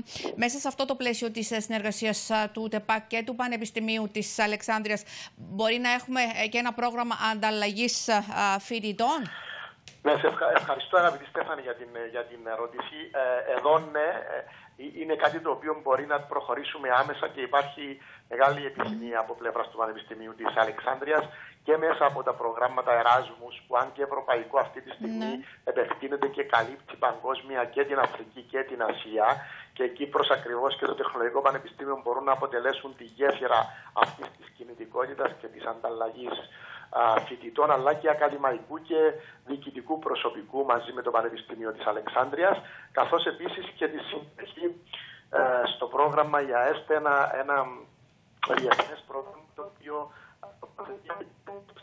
φορές χώρες σε εργασιακούς χώρους για απόκτηση εργασιακής εμπειρίας. Όλα αυτά είναι μέσα στους σχεδιασμούς και με την επίσκεψη εδώ που αναμένεται να γίνει μετά την επίσκεψη του Πατριάρχη θα έχουμε μεγάλη αποστολή από, από την πόλη της Αλεξάνδρειας και με τον κυβερνήτη της Αλεξάνδρειας αλλά και με φορείς και των πανεπιστημίων και της βιβλιοθήκης αλλά και φορείς που έχουν να κάνουν με την ναυτιλία και τουριστικές ε, ε, εμπορικές άλλες εταιρείες. Ακριβώς για να προχωρήσει αυτή η σύζευξη Αλεξάνδρειας και, ε, και Λεμεσού κάτω από, και, από τον τίτλο του πολύ έτσι εύστοχου συμποσίου που έγινε εκεί στα πλαίσια της επίσκεψης με επικεφαλής στο Μήνυδος Σοφοκλέους που, που είχε ως τίτλο Αλεξάνδρεια και Λεμεσός μια πόλη σε ένα συνεχή διάλογο που δεν έχουν μόνο παρελθόν οι σχέσεις τους αλλά πρέπει να έχουν οπωσδήποτε και παρόν και μέλλον διότι αυτή τη στιγμή Κύπρος και Αίγυπτος μπορεί να παίξουν ένα σημαντικό ρόλο στην ε, στην περιοχή μας, στην Νοτιοανατολική Μεσόγειο, όχι μόνο σε θέματα φυσικού αερίου, αλλά και σε, με άλλου είδους συνεργασίες. Έτσι ακριβώς. Ευχαριστούμε πάρα πολύ. Ε, κύριε Χρυσοστόμου, καλή συνέχεια να έχετε. Καλή συνέχεια. Και διάλειμμα διαφημίσεις για τη συνέχεια και σε πολύ λίγο επιστρέφουμε.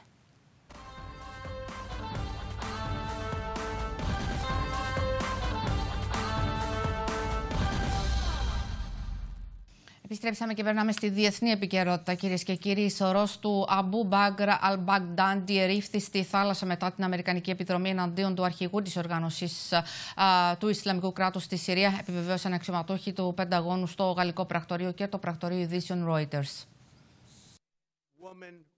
Δίνοντας μια γλαφυρή εικόνα των τελευταίων στιγμών ενός από τους πιο περιζήτητους τρομοκράτες στον κόσμο, ο Αμερικανός Πρόεδρος έχει προκαλέσει κύμα αντιδράσεων στην Ουάσιγκτον λόγω των απόρριτων πληροφοριών που έχει αφήσει να διαρρεύσουν. Και ενώ το Πεντάγωνο δίνει πληροφορίες για την επιχείρηση με το σταγονόμετρο, από αμερικανικές πηγές έγινε γνωστό ότι η σωρό του Αμπού Μπάγκρα Αλ ερήφθη στη θάλασσα. Αμερικανοί αξιωματούχοι δεν αποκάλυψαν που έγινε η ταφή ούτε πόσο διήρκησε. Επισήμαναν ωστόσο ότι ακολουθήθηκαν θρησκευτικά τελετουργικά. Αξιωματούχοι αναρωτήθηκαν ποια ήταν η πηγή πληροφόρησης του Τραμπ. Ξέρω ότι ο πρόεδρος είχε προγραμματίσει να μιλήσει με την ομάδα και τα μέλη της, αλλά δεν ξέρω ποια ήταν η πηγή αυτού. Υποθέτω ότι μιλούσε απευθείας με τα μέλη της ομάδας. Αρκετές από τις υπόλοιπες δηλώσεις του Προέδρου ήταν άκρος απόρριτες και εμπιστευτικές. Είπε επίσης ότι σκέφτεται να δώσει στη δημοσιότητα πλάνα από την επιδρομή κατά του Μπαγδάντι. Ωστόσο, ο στρατηγός Μαρκ Μίλεϊ τόνισε ότι δεν σχεδιάζουν προς το παρόν να δημοσιεύσουν φωτογραφίες ή βίντεο από το θάνατό του. Αλλά αποκάλυψε ότι δύο άνδρες πιάστηκαν εχμάλωτοι κατά τη διάρκεια της επιδρομής εναντίον του Μπαγδάντι και ότι κρατούνται σε ασφαλή τοποθεσία.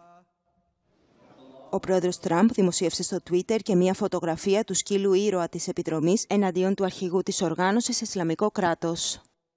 Το όνομα του σκύλου παραμένει μυστικό για λόγους ασφαλείας, όπως εξήγησε ο αρχηγός του Γενικού Επιτελείου Στρατού, Μαρκ Μίλεϊ. Πάμε τώρα να δούμε ένα ρεπορτάζ από ετοίμασε το Euronews για την άνοδο και την πτώση του Ισλαμικού κράτους. Η ιστορία του Ισλαμικού κράτους ξεκινάει στον δεύτερο πόλεμο στο Ιράκ με τη δημιουργία του πρώτου πυρήνα τζιχαντιστών ως παρακλάδι της Αλ-Κάιντα στη διάρκεια της μάχης κατά των Αμερικανικών δυνάμεων. Ο Αλ Μπαγντάντι ανέβηκε στην ηγεσία το 2012 αναμορφώνοντας μια σχεδόν διαλυμένη οργάνωση. Στέλνει ανθρώπους να διεισδύσουν στον πόλεμο της Συρίας, ενώ την ίδια περίοδο στο Ιράκ συμμαχεί με πρώην στρατιώτες και στελέχη του καθεστώτος Χουσέιν, ξεκινώντας και εκεί μια νέα αιματηρή επανάσταση. Τον Δεκέμβριο του 2013 οι τζιχαντιστές επεκτείνονται και η Φαλούτζα γίνεται η πρώτη πόλη που κατακτούν, ενώ ένα μήνα αργότερα μπαίνει στη ράκα της Συρίας και η Μοσούλη γίνεται η πρωτεύουσα του αποκαλούμενου Ισλαμικού κράτους. Για μερικούς μήνες το Ίκυλ μοιάζει ασταμάτητο και σοκάρει τον κόσμο με αποκεφαλισμούς μπροστά στις κάμερες. Καταστρέφει αρχαιολογικά μνημεία, προελάβνει και φτάνει μέχρι και τις περιοχές των Κούρδων στη Συρία. Εκεί είναι που ξεκινά και η πτώση του Ίκυλ. Η αποτυχημένη πολιορκία στο κομπάνι και οι συνεχείς βομβαρδισμοί από τη Διεθνή Συμμαχία οδηγούν τους τζιχαντιστές σε άτακτη υποχώρηση. Κούρδοι και Ιρακινοί τους κυνηγούν ασταμάτητα. Το 2017 Μοσούλη και Ράκα χάνονται από τα χέρια του Ισλαμικού κράτους. Από εκείνη τη στιγμή και μετά, οι τζιχαντιστές βιώνουν την απόλυτη κατάρρευση. Η τελευταία πράξη του πολέμου κατά των τρομοκρατών διαδραματίστηκε σε μια Συριακή πόλη κοντά στον Εφράτη. 5.000 τζιχαντιστές οχυρώνονται, αλλά η ήττα στην πολιορκία της Μπαγκούς ήταν δεδομένη και τελικά ήρθε. Η τρομοκρατική οργάνωση εξαλείφθηκε οριστικά, όμως οι μαχητές της δεν εξαφανίστηκαν. Χιλιάδες εχμαλωτίστηκαν, αλλά όσοι γλίτωσαν παραμένουν ενεργοί. Μετά το θάνατο του ηγέτη του Ζαλ Μπαγντάντι, ορκίζονται ότι θα συνεχίσουν την τζιχάντ για να πάρουν εκδίκηση για τις εξελίξεις στη Συρία αλλά και για την είδηση του θανάτου του ηγέτη του ISIS al-Baghdadi και τι σημαίνει αυτό για τη Μέση Ανατολή αλλά και για το δυτικό κόσμο. Θα συζητήσουμε στη συνέχεια με τον διεθνολόγο Ζήνο Ναντζάρα, τον οποίο έχουμε μαζί μας μέσω Skype. Καλό σας μεσημέρι κύριε Τζάρα. Γεια σας.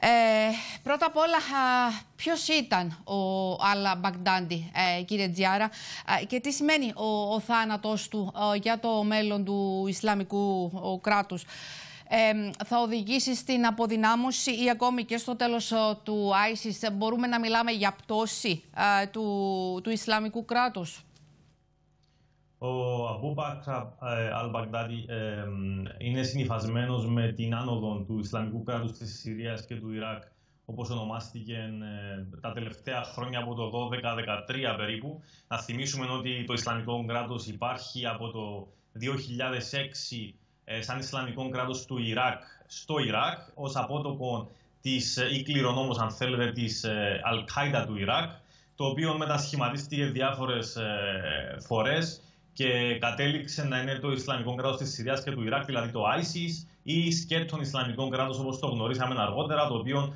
προέλασε στο Ιράκ το 2014, αργότερα ενισχύθηκε και στη Συρία και ούτω καθεξής. Η ιστορία του είναι μεγάλη και περίπλοκη. Να μην μπούμε σε αυτήν, απλά να πούμε ότι η ίδρυση του Ισλαμικού Χαλιφάτου από τον ίδιο τον Μπαγκντάντι ε, ε, ήταν πολύ σημαντική για την παγκόσμια τζιχάτ. Έδωσε μια νέα διάσταση στη δυναμική του, του διεθνούς Ισλαμιστικού ε, τρομοκρατικού κινήματος με, την, ε, ε, με, την, με τον έλεγχο εδαφών στη Συρία και στο Ιράκ. ουσιαστικά δημιούργησε μια χώρα σε αυτές τις περιοχές μεταξύ Συρίας και Ιράκ μια, έναν κράτος, έναν Ισλαμικό κράτος, το οποίο είχε τα, όλα τα χαρακτηριστικά ενός κράτους, πλην της διεθνούς αναγνώρισης. Και είχε υπουργεία, είχε οικονομικούς πόρους, είχε υπαλλήλους, είχε όλα αυτά που θα περίμενε κανείς να έχει έναν κράτος, έδαφος, πολίτες και ούτω καθεξή. Έβγαζε τιμολόγια για τις πωλήσεις πετρελαίου που έκανε από τις πετρελαιοπηγές της Συρίας, έκοβε μισθούς όταν τα πράγματα δεν πήγαιναν καλά ε, από τους τζιχαδιστέ που πολεμούσαν για αυτόν και ούτω καθεξή. Η πτώση του λοιπόν είναι πολύ σημαντική τουλάχιστον σε συμβολικό επίπεδο. Ότι αν θέλετε κλείνει ένας κύκλος, αυτός ο κύκλος του Ισλαμικού κράτους, του χαλιφάτου ή του εδαφικού χαλιφάτου, δηλαδή εκείνου του χαλιφάτου που κατήχε κάποια εδάφη. Από εκεί και πέρα όμως, και κλείνω το πρώτο σχόλιο με αυτό, ε, δεν πρέπει να θεωρούμε ότι ο θάνατος του Αλ-Μπαγδάτη έχει ε, ε, ε, σηματοδοτεί, αν θέλετε, το τέλος της διεθνούς τρομοκρατίας ή το τέλος του ίδιου του Ισλαμικού κράτους, διότι πλέον το Ισλαμικό κράτος υπάρχει ως ένα, ε, έναν αποκεντρωμένο μόρφωμα με διάφορους πυρήνες, οι οποίοι ακόμα επιχειρούν τόσο στη Συρία και στο Ιράκ και όσο και στο, σε, σε, άλλα μέρη του κόσμου, ε, όπου ανδρώνεται αυτή τη στιγμή. Να πάρουμε τη Μέση Ανατολή, το βλέπουμε στην Χερσόνησο του Σινά, στη Λιβύη, μπορούμε να το δούμε στην Νιγηρία, στις Φιλιππίνες, στην Ινδονησία και σε άλλα μέρη του κόσμου όπου δεν έχει πάψει να υπάρχει. Ναι. Ε, βέβαια, ο Ιρανός Υπουργός Πληροφόρησης ε, ανέφερε ε, για το θάνατο του ότι δεν είναι ε, κάτι σπουδαία δουλειά. και αναφερόμενος στους Αμερικανούς, είπε ότι σκοτώσατε απλώς το δημιούργημά σας, κατηγορώντας τις ΗΠΑ ότι αυτοί είναι, αυτές είναι που δημιούργησαν το, το Ισλαμικό κράτος και ε, μετά το, το θάνατό του ορίστηκε καινούριος ηγέτης, ο Αμπτουλάχ Γκαρτάς, ένας πρώην στρατιωτικός αξιωματικός του, του Σάταμα Χουσέιν. Ε, μάλιστα, ε, έχετε δίκιο. Ε, μιλάμε για μια, όπως σας είπα και προηγουμένως, εν μέρει τουλάχιστον συμφωνώ με τις δηλώσεις αυτές, ότι δηλαδή ε, δεν έχει γίνει κάτι ε, δραματικό σε ό,τι αφορά τη σύσταση και τη μελλοντική δράση του Ισλαμικού κράτους. Ε, η νέα ηγεσία δείχνει ότι ε, τα πράγματα θα συνεχίσουν να υφίστανται όπως μπορούν να υφίστανται, διότι το Ισλαμικό κράτος έχει όντως ε, χάσει πολύ μεγάλη δυναμική. Ότι ενδεχομένως θα συνεχίσει ε, να είναι επικεντρωμένο περισσότερο σε επιχειρήσεις ε, στη Συρία και στο Ιράκ. για, να, για να καταφέρει ό,τι μπορεί να καταφέρει μέσα στα πλαίσια του οράματος που έχει για την επανασύσταση ενός Ισλαμικού χαλιφάτου.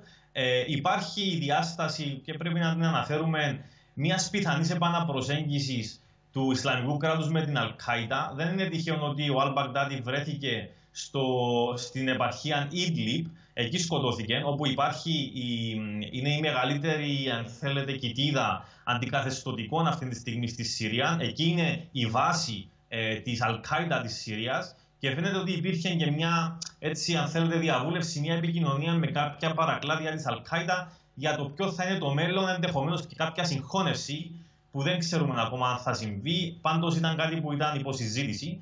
Οπότε το μέλλον του τζιχαδιστικού κινήματος, αν θέλετε, είναι υποδιαπραγμάτευση αυτή τη στιγμή και με τη νέα ηγεσία, ε, ίσως να δούμε και νέους στόχους, ίσως να δούμε και νέες εξελίξεις.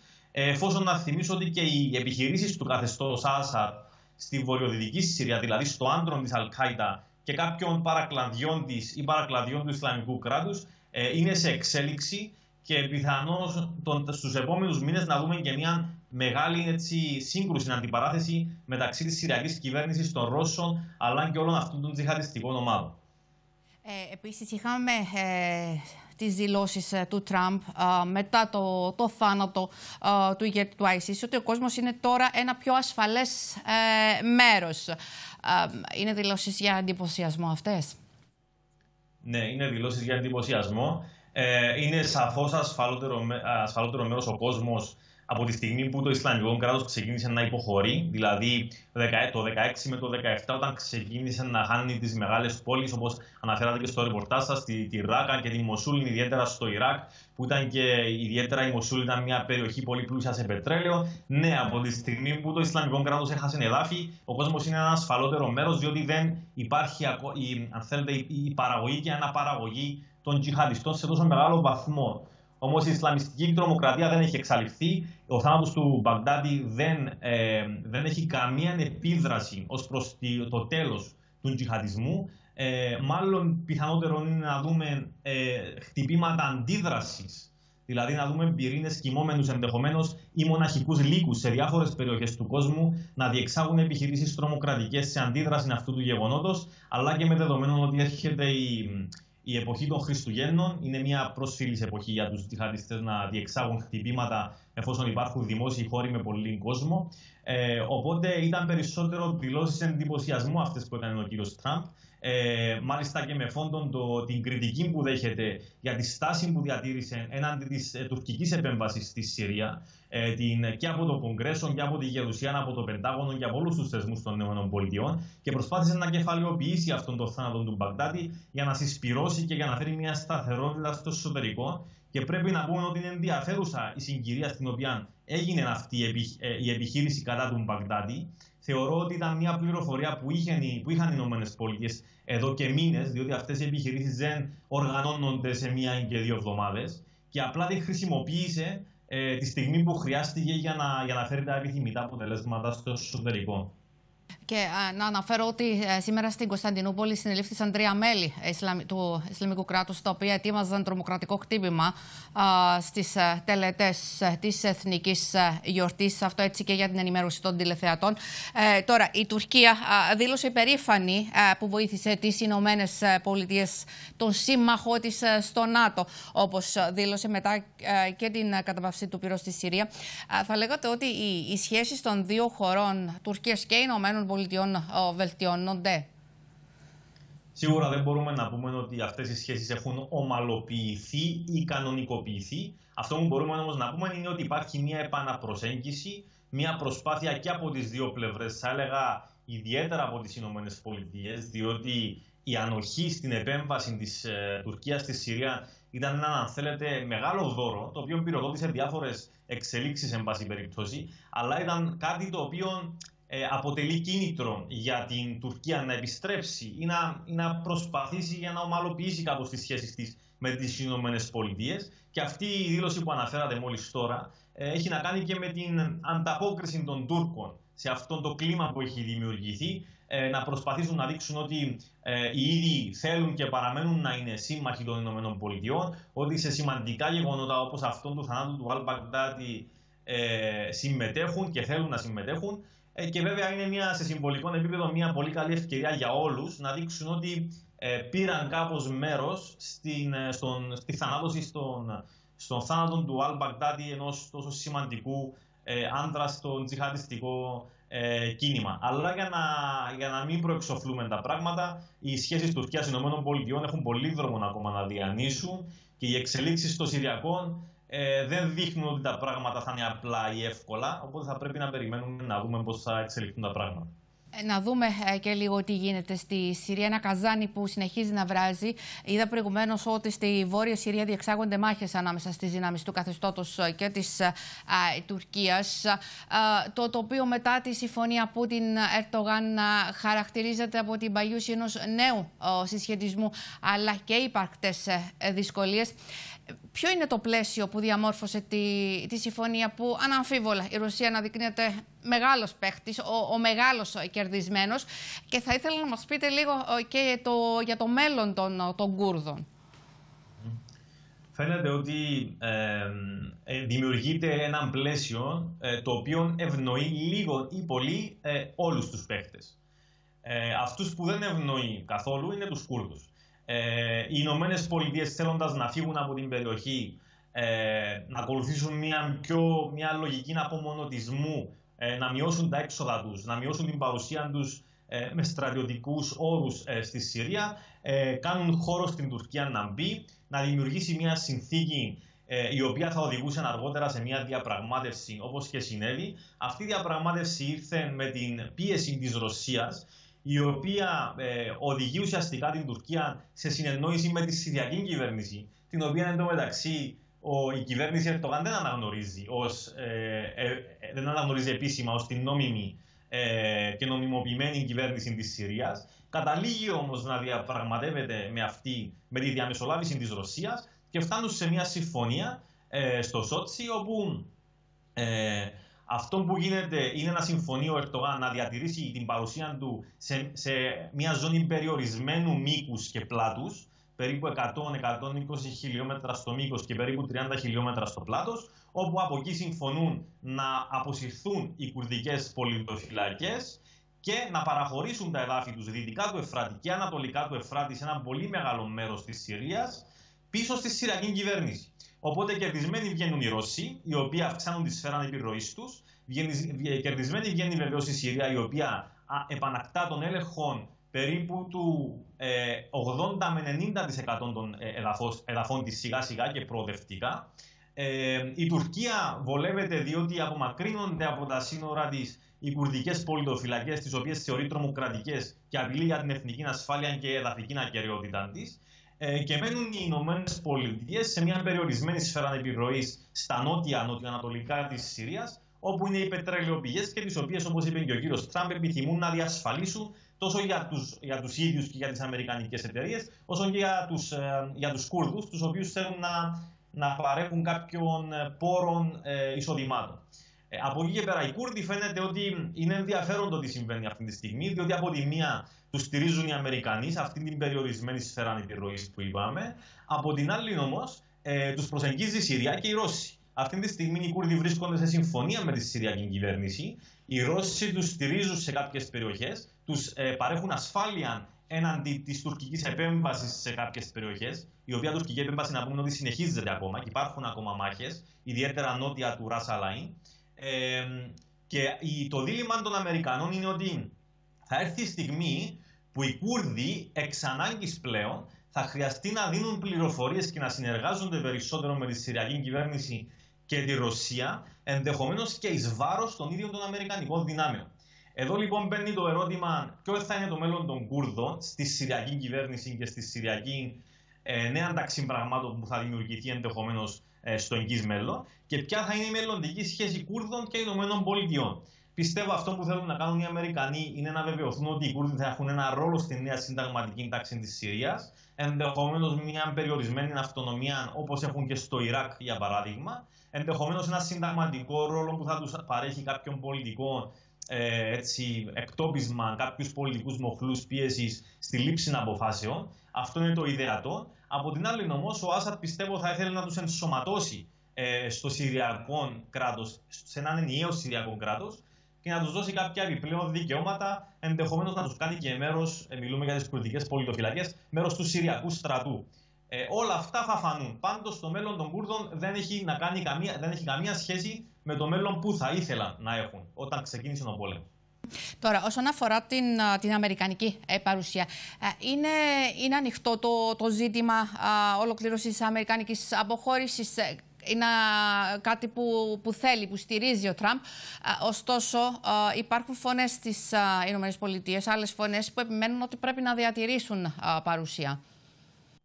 Ε, φαίνεται ότι και φεύγουν και μένουν. Δηλαδή, ήδη έχουν αποχωρήσει αρκετές δυνάμεις και από το, αρχικά από το σύνορο Τουρκία-Συρία προς τα νότια και αργότερα από τη Συρία προς το Ιράκ. Ε, έχουμε αυτό που φαίνεται να υπάρχει σύγκληση εντός των ΗΠΑ μεταξύ Πενταγώνου και Λευκού Οίκου προς το παρόν είναι η διατήρηση μιας μικρής στρατιωτικής δύναμης ε, στην περιοχή πέριξ του Ντέιρε Ζόρ που βρίσκεται νότια ε, πάνω στον Εφράτη ποταμό ε, για την ε, διαφύλαξη των πετρελαιοπηγών που βρίσκονται σε εκείνη την περιοχή. Ε, άρα ενώ, ενώ οι περισσότερες ή τουλάχιστον οι μισές δυνάμεις φεύγουν. Αυτή είναι η εικόνα που έχουμε. Ότι είναι οι μισές, περίπου 1000 με 1500 ε, στρατιώτες ε, έχουν φύγει από την Συρία. Είναι στη διαδικασία να φύγουν. Η άλλη μισή ή μια πιο μικρή δύναμη θα μείνει εκεί αφενός για να διασφαλίσει τις πετρελαιοπηγές και αφετέρου για να διατηρήσει κάποιο ρόλο στην καταπολέμηση του Ισλαμικού κράτους. Πρέπει να πούμε ότι οι δυνάμεις και από εκείνη την περιοχή συμμετείχαν στην ε, επιχείρηση κατά του Αλ-Μπαγδατή. Ε, αλλά ε, το, η, η, μείωση των δυνάμεων των Αμερικανικών θα δυσκολέψει πάρα πολύ το έργο τους στην περιοχή, ιδιαίτερα σε ό,τι αφορά το Ισλαμικό κράτος αφενός και αφετέρου την, το, την, τον περιορισμό της Ιρανικής επιρροής που έχει αναπτυχθεί πάρα πολύ στην Ανατολική Συρία. Ε, και είναι πραγματικά δύσκολο να, να δούμε πώς οι Αμερικανοί μπορούν να διατηρήσουν την επιρροή και τον έλεγχο που θα ήθελαν στο μέλλον με αυτήν την ε, ισχνή παρουσία στη Συρία. Ε, θα ήθελα και μια τελευταία κουβέντα, κύριε Τζιάρα, για το ρόλο που θα διαδραματίσει το Ιράν, το, το οποίο θέλει να διατηρήσει την όποια επιρροή εκεί στο, στο τόξο Ιράκ-Συρία-Λίβανος. Είναι πολύ σημαντική επισήμανση. Ε, ένας από τους μεγάλους κερδισμένους αυτής της κατάστασης είναι και το Ιράν, το οποίο ενισχύει την παρουσία του στη Συρία από τις αρχές του πολέμου, μέσω και της Χεσμολάχ, αλλά του Λιβάνου δηλαδή, αλλά και ε, διάφορων σιδικών ομάδων, όπως έκανε και στο Ιράκ. Μην ξεχνάμε ότι ε, οι σιδικέ ε, ομάδες έλαβαν μέρος και σε μάχες με τους Κούρδους ε, στο Ιράκ, ε, όταν έγινε το δημοψήφισμα για να ανεξαρτητοποιήσει. Τώρα από εκεί και πέρα πλέον ε, επεκτείνει την παρουσία του ανατολικά της Συρίας και αυτό που πρέπει να προσέχουμε τον επόμενο καιρό είναι η, το δίλημα ασφάλεια που θα δημιουργηθεί για το Ισραήλ, το οποίο τόσο καιρό διεξήγαγε χειρουργικές επεμβάσεις κατά Ιρανικών και άλλων σιδικών στόχων στη Συρία. Πλέον έχει φτάσει πολύ κοντά στα σύνορα του η Ιρανική απειλή και είναι πλέον πιο ενισχυμένη. Άρα θα πρέπει να δούμε ε, εάν αυτός στο εγγύς μέλλον θα δημιουργήσει περισσότερες εντάσεις μεταξύ Ισραήλ, Χεσμολάχ και Ιράν και αν αυτό μη κακόν οδηγήσει και σε κάποια θερμή ε, ένοπλη σύγκρουση. Ευχαριστώ πάρα πολύ ε, κύριε Τζιάρα για την ανάλυση που μας κάνατε. Να είστε καλά. Ε, πάμε εκτός συνόρων στις Ηνωμένες Πολιτείες. Ε, περίπου 180.000 άνθρωποι κλήθηκαν να εγκαταλείψουν τα σπίτια τους εξαιτίας της πυρκαγιάς Kincaid, όπως έχει ονομαστεί, η οποία μένεται βόρεια του Σαν Φρανσίσκο στην Καλιφόρνια. Οι φλόγες έχουν ήδη κάψει περισσότερα από 120.000 στρέμματα. Οι φλόγες περικύκλωσαν τις πλούσιες συνοικίες στο Λος Άντζελες, αναγκάζοντας πολλές διασημότητες να εγκαταλείψουν τις πολυτελείς επαύλεις τους. Μία από τις γειτονιές όπου οι αρχές έχουν εκδώσει εντολή εκένωσης είναι η χλιδάτη συνοικία του Μπρέντγουντ, στη δυτική πλευρά της πόλης, όπου μένουν πρωταγωνιστές του Χόλιγουντ, γνωστοί παραγωγοί και μεγιστάνες των μέσων ενημέρωσης. Ο Άρνολτ Σβάρτζενέκερ είπε ότι χρειάστηκε να εγκαταλείψει το σπίτι του γύρω στις 3 τα ξημερώματα.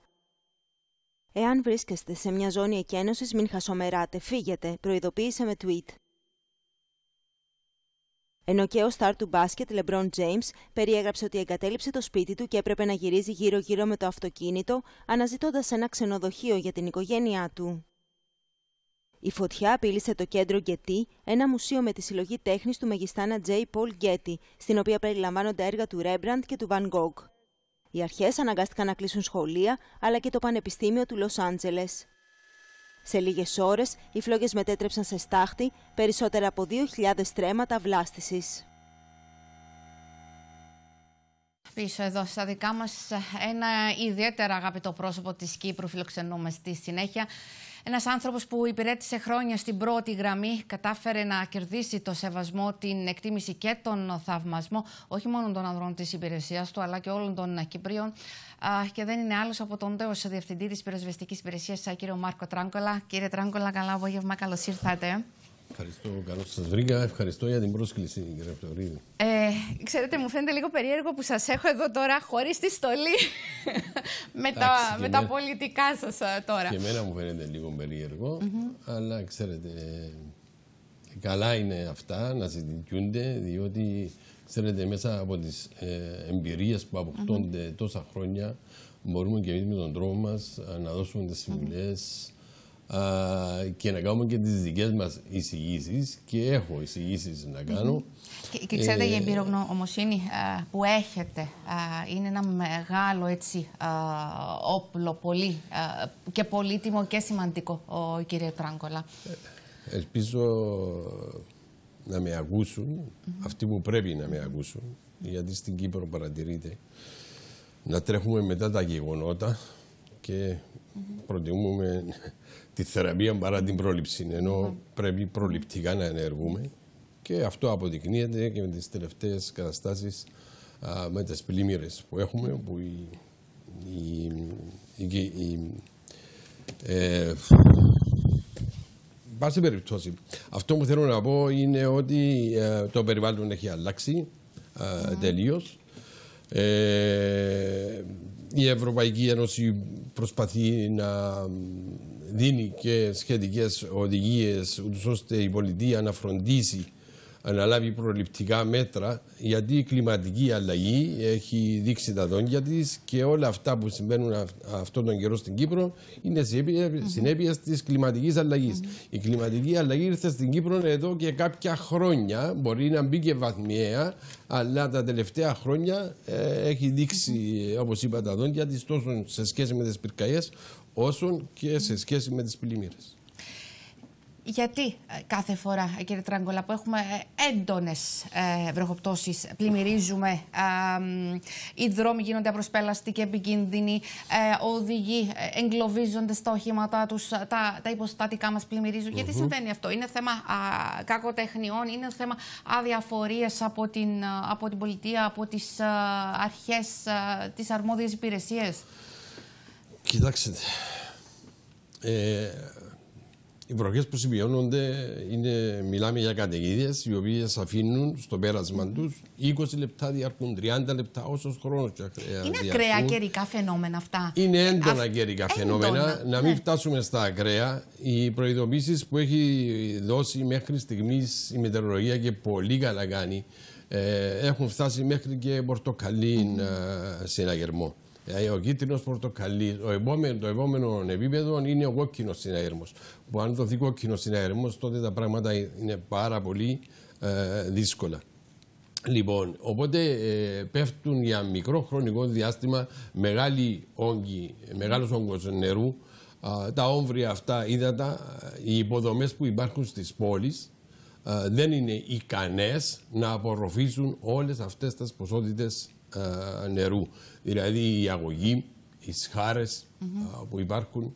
Ε, γιατί πρέπει να πούμε όμως ότι υπάρχουν ε, δύο περιπτώσεις.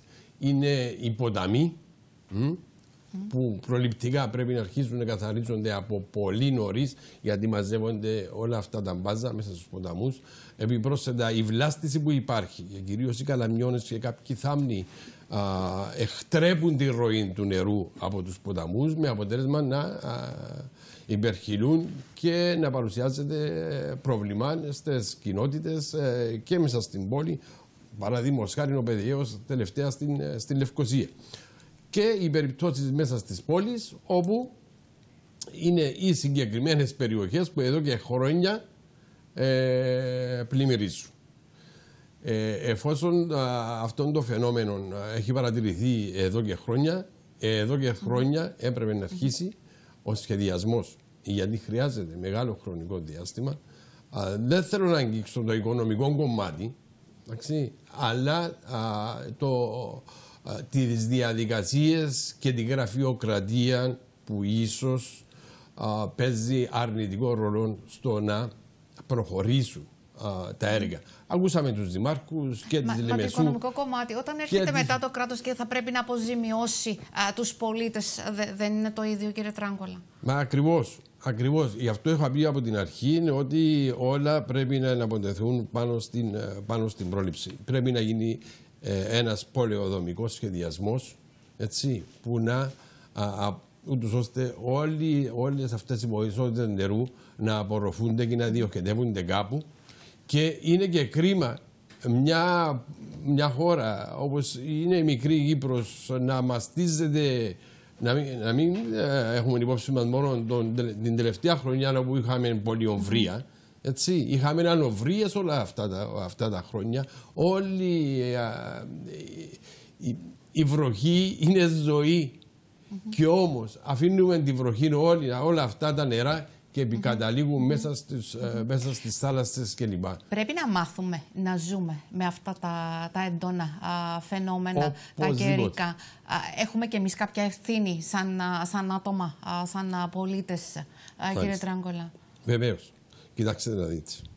Πρέπει να, πρέπει να καταλάβουμε ότι οι συνέπειες της κλιματικής αλλαγής που συμβαίνονται και δεν σημαίνονται μόνο στην Κύπρο. Mm. Πριν αρχίσουμε τη δική μας συζήτηση, είδαμε ότι στην Καλιφόρνια μένονται τεράστιες πυρκαγιές. Λοιπόν, ε, στην Κύπρο έχουν αυξηθεί κατά κόρον οι πυρκαγιές σε αριθμό από το 2000 και μετά. Αυτό δεν μπορεί κανένα να το αφισβητήσει. Υπάρχουν τα στατιστικά στοιχεία. Ζήσαμε αυτές τις καταστάσεις μετά τη μεγάλη πυρκαγιά που είχαμε στην ορεινή περιοχή της Λάρνακα που μας έκαψε τότε 52 τετραγωνικά χιλιόμετρα και άρχισε σταδιακά να αυξάνεται ο αριθμός των πυρκαγιών και να γίνονται οι πυρκαγιές περισσότερων επικίνδυνες. Και από το 2000 αφού την πάθαμε στην ορεινή της Λάρνακα, αρχίζαμε να διορθώνουμε το σύστημα αντιμετώπισης των πυρκαγιών στην Κύπρο με την εξασφάλιση αέριων μέσων α, και άλλων μέσων επίγειων για να αντιμετωπίσουν όλη αυτή την κατάσταση έτσι όπως εξελίσσεται. Λοιπόν, το ίδιο συμβαίνει και με τις πλημμύρες. Πλημμύρες υπήρξαν και στο παρελθόν, έτσι, αλλά όχι σε τόση συχνότητα και επικινδυνότητα όπως συμβαίνει σήμερα. Και σε αυτό φταίει ε, ακριβώς και το γεγονός ότι ανεξέλεκτα δίνουν και άδειες και χτίζονται α, υποστατικά κλπ. κλπ.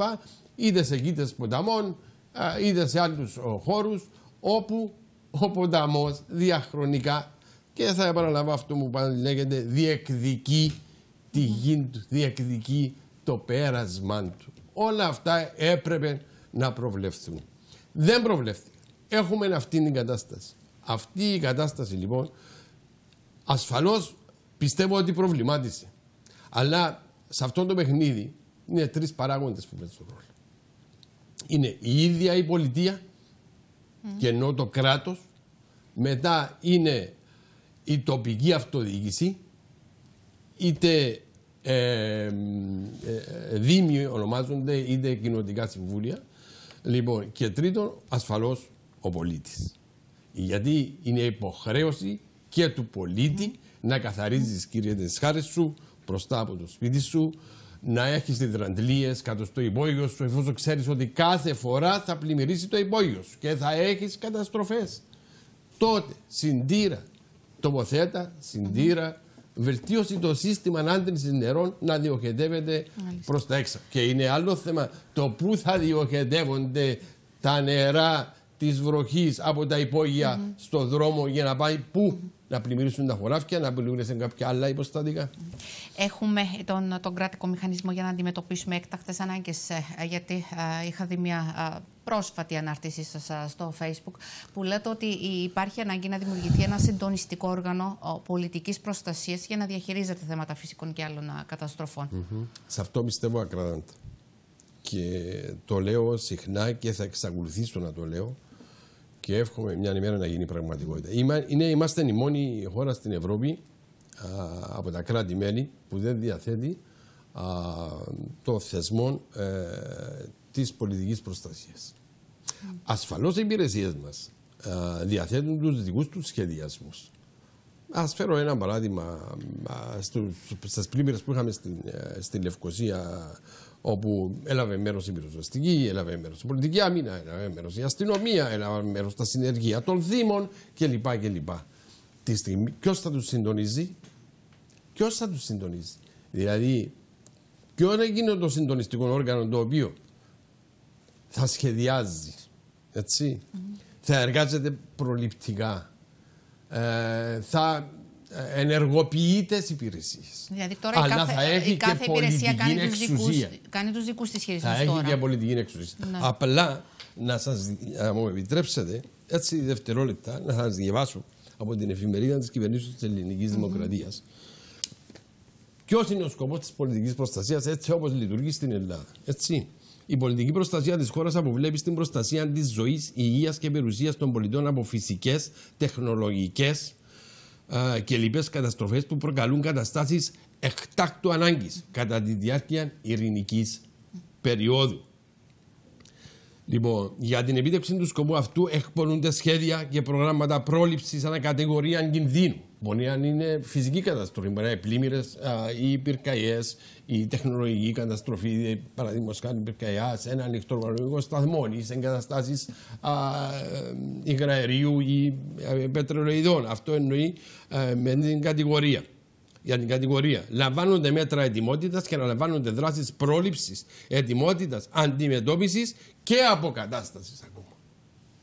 Λοιπόν, ε, και ποια είναι η αποστολή της; Έχουμε πει τον, τον σκοπό. Ποια είναι η αποστολή της; Η μελέτη, ο σχεδιασμός, η οργάνωση και ο συντονισμός της δράσης για την πρόληψη και αντιμετώπιση των φυσικών, τεχνολογικών και λοιπών καταστροφών, η καταστάσεων έκτακτης ανάγκης, καθώς και την ενημέρωση του κοινού για τα ζητήματα αυτά. Βγαίνει η μετρολογία, κάνει ανακοινώσεις. Έτσι. Βγαίνει η πολιτική άμυνα, διά συμβουλέ.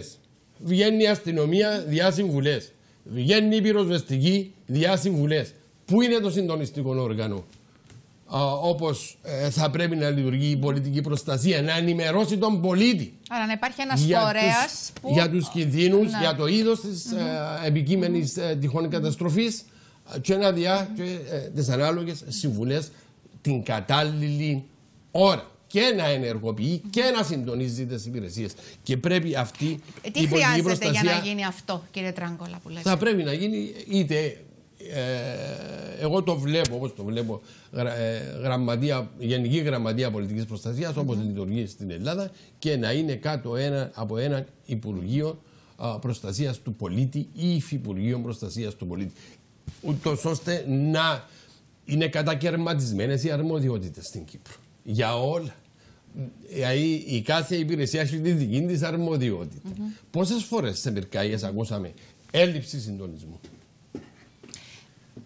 Το έχετε προτείνει λοιπόν, αυτό που μας λέτε κάπου; Κοιτάξτε, εγώ αυτόν το πράγμα το έχω προτείνει πολλές φορές. Το έλεγα και πριν να αφιπηρετήσω, το λέω και τώρα. Αλλά μετά την πυρκαγιά της Σολιάς, η Επιτροπή Εμπειρογνωμόνων, η οποία διορίστηκε από το Υπουργικό Συμβούλιο, έκανε αυτή την πρόταση για δημιουργία πολιτικής mm -hmm. προστασίας στην Κύπρο. Δεν έγινε δυστυχώς. Και πρέπει ναι.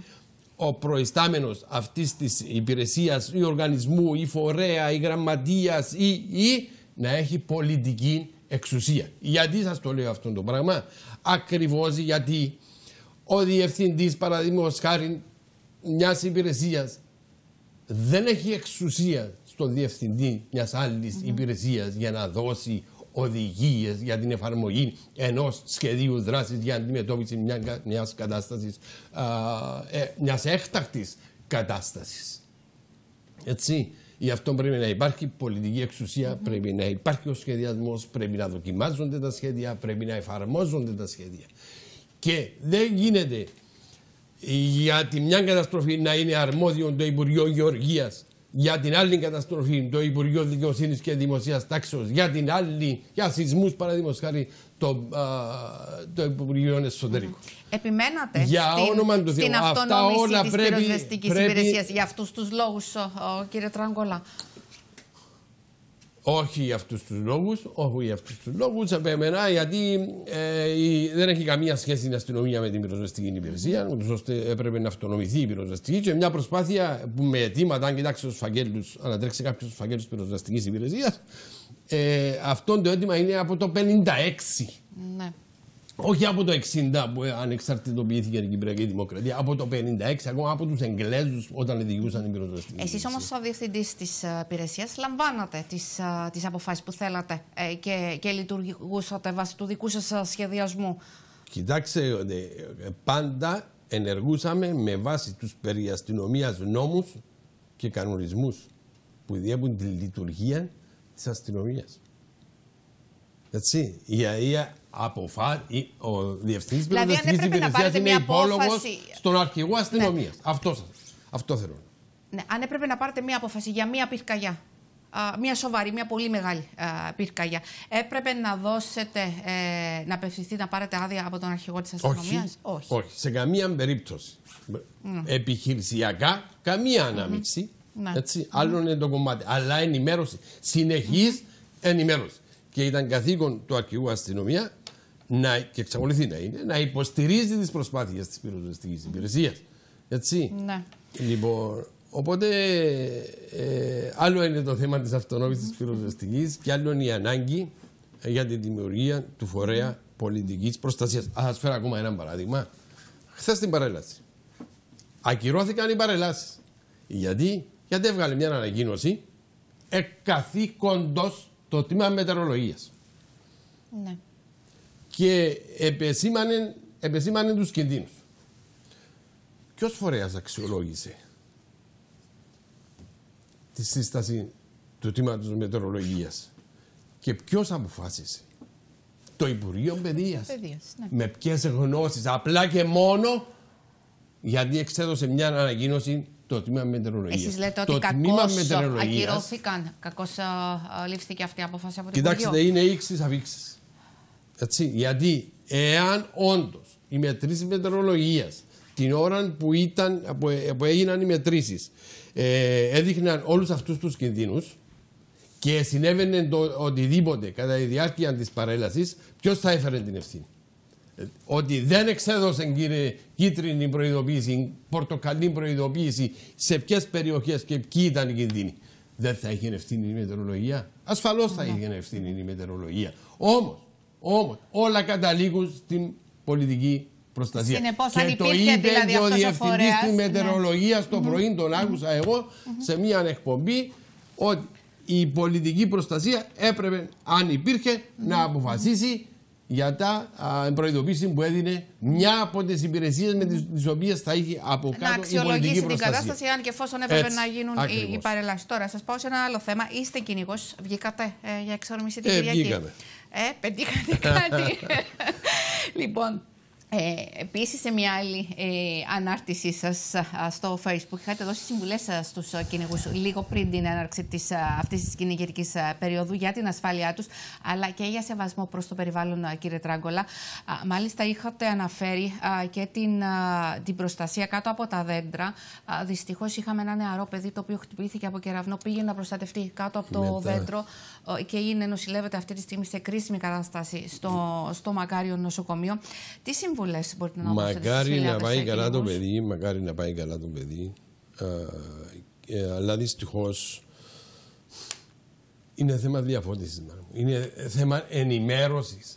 Πάλι η πολιτική προστασία πρέπει να γίνουν εκστρατείες να διαφωτίσουν τον κόσμο, να ενημερωθεί ο κόσμος, mm. οι συμβουλές. Τώρα δίνω μου ζητάτε να δώσω εγώ συμβουλή. Αν υπήρχε πολιτική προστασία, θα υπήρχε αυτός ο λόγο λόγος να ζητείτε από τον πρώην διευθυντή της πυροσβεστικής υπηρεσίας να δώσει συμβουλέ. Ευχαρίστως να δώσω. Αλλά δεν θα ήταν ανάγκη. Όλα επιστρέφουν εκεί που πρέπει να γίνει. Και θα ναι, το λέω. Γνωρίζετε κάτι περισσότερο λοιπόν, όμως, γιατί να σας πω, είδα και τις συμβουλέ της αστυνομίας, είδα και τις συμβουλέ, ακούσαμε της υπηρεσίας θύρας. Δεν υπήρχε πουθενά αυτές οι συμβουλές που δώσατε εσείς μέσα από αυτή την ανάρτηση σας, κύριε Μάλιστα. Τράγκολα. Λοιπόν, οπότε ε, είναι πολύ σημαντικό ε, για τον οποιοδήποτε διακινείται στην Ήπεθρο.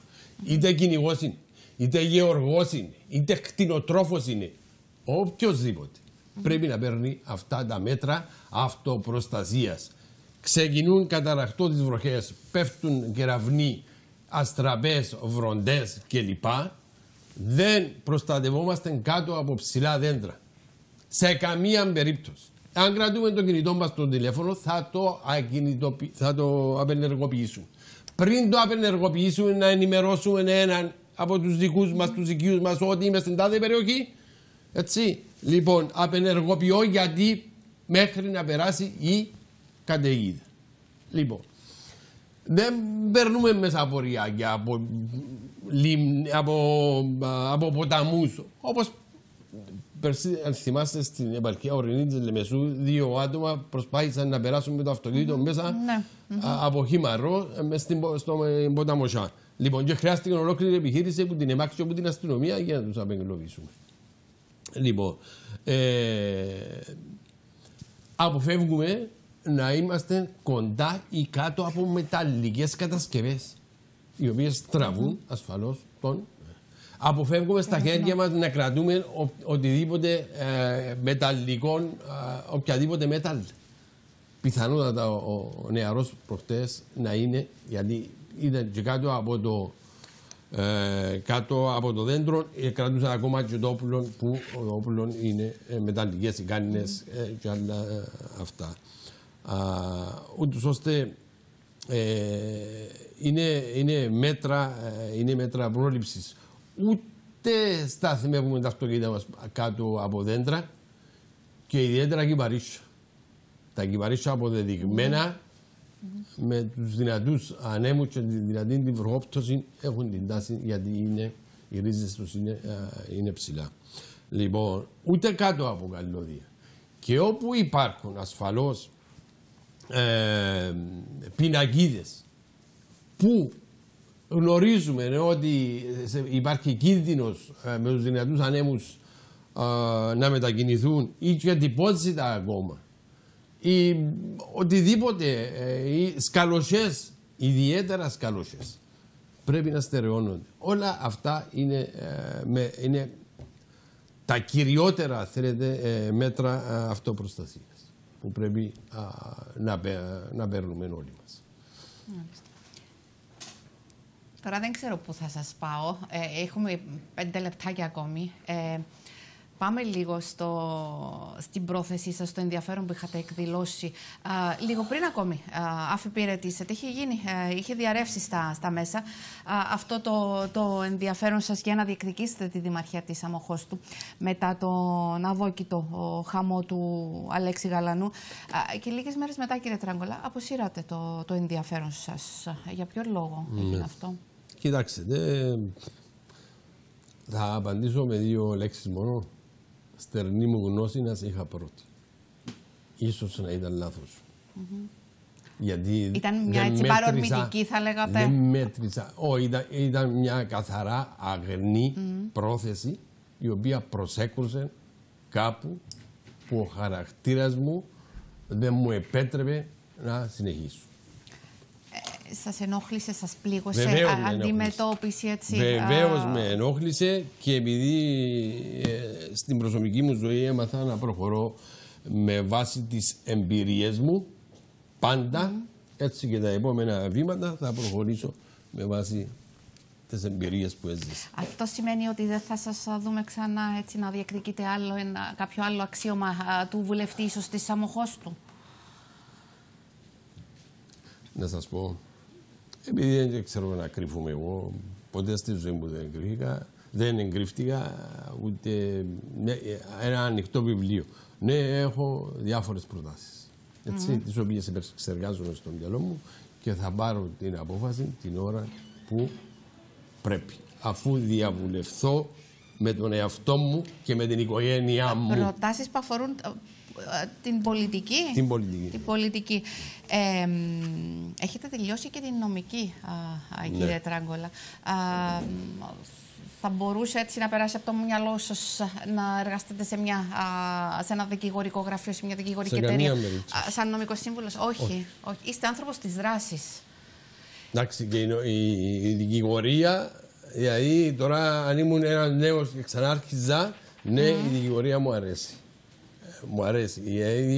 Είναι ε, ένας τομέας που. Γιατί την απορριπτέτε τώρα; Που την, παλεύει. Γιατί έπρεπε να εξασκήσει το επάγγελμα, να αποκτήσει εμπειρίες, να έχεις εμπλοκή. Ναι, δεν λέω να πηγαίνετε στο δικαστήριο σαν σύμβουλος μιας νομικής ε, εταιρείας. Όχι. Ε, θεωρώ ότι ε, δεν είμαι στο επίπεδο που θα μπορούσα να προσφέρω ε, υπηρεσίες. Εγώ μπορώ να προσφέρω υπηρεσίες και γνώσεις για που δούλεψα για τόσα πάρα πολλά χρόνια με τόσες γνώσεις και εμπειρία.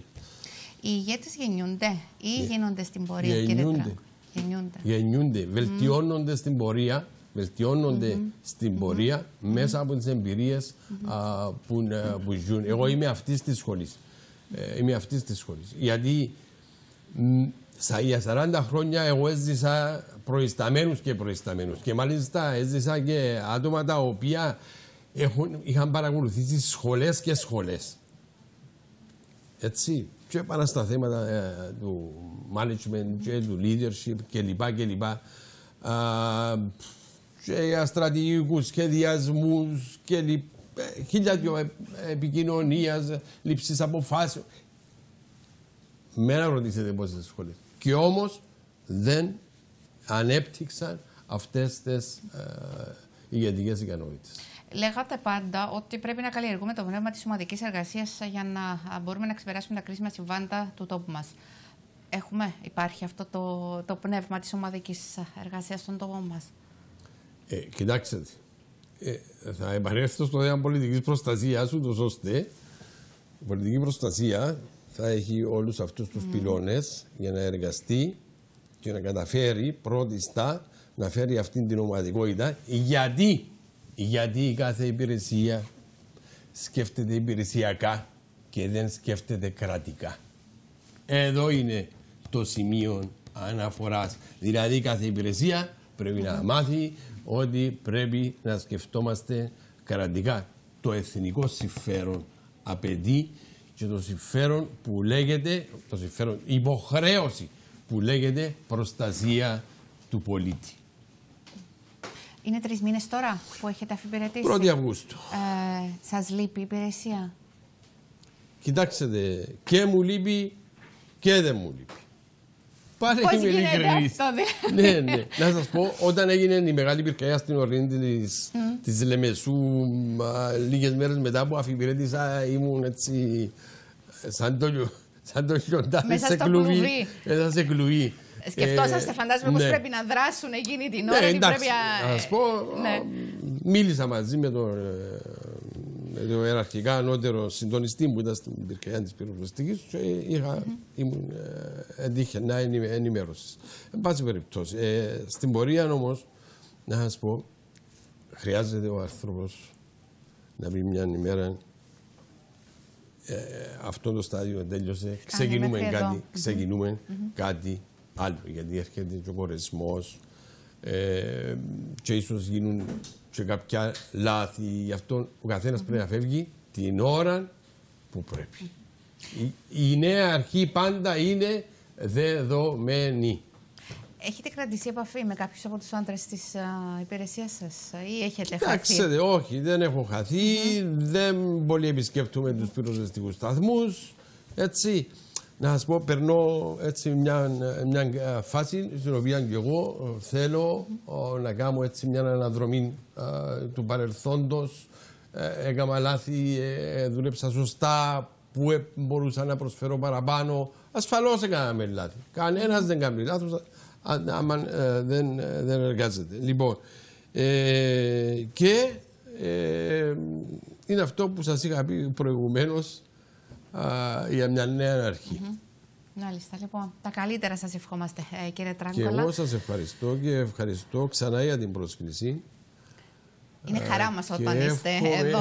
Εύχομαι όλα να κινήσουν ομαλά και για σας προσωπικά και για το κανάλι σας. Ευχαριστούμε και για την Λεμεσό να μην ξανά έχουμε τις Μα μόνο η Λέμεσος και η, και η Λευκοσία χθες και η Λάρνακα, όλες οι πόλεις ναι, έχουν το ίδιο πρόβλημα. θα είναι πλέον μέσα στη ζωή μας, γι' αυτό επαναλαμβάνω πρόληψη. Και εύχομαι να ανταποκριθείτε ξανά όταν σας καλέσουμε. Ευχαριστώ. ευχαριστώ. Καλή, καλή συνέχεια. Καλό απόγευμα να έχετε. Πολύ. Να είστε καλά. Ε, πάμε τώρα και πάλι εκτός συνόρων και στο Brexit. Συγκεκριμένα, για τρίτη φορά οι Βρετανοί βουλευτές απέρριψαν το αίτημα του Μπόρι Τζόνσον για πρόορες κάλπες στις 12 Δεκεμβρίου. Απορρίφθηκε από το Βρετανικό Κοινοβούλιο η πρόταση του Πρωθυπουργού Μπόρι Τζόνσον να οδηγηθεί το Ηνωμένο Βασίλειο σε πρόορες εκλογές.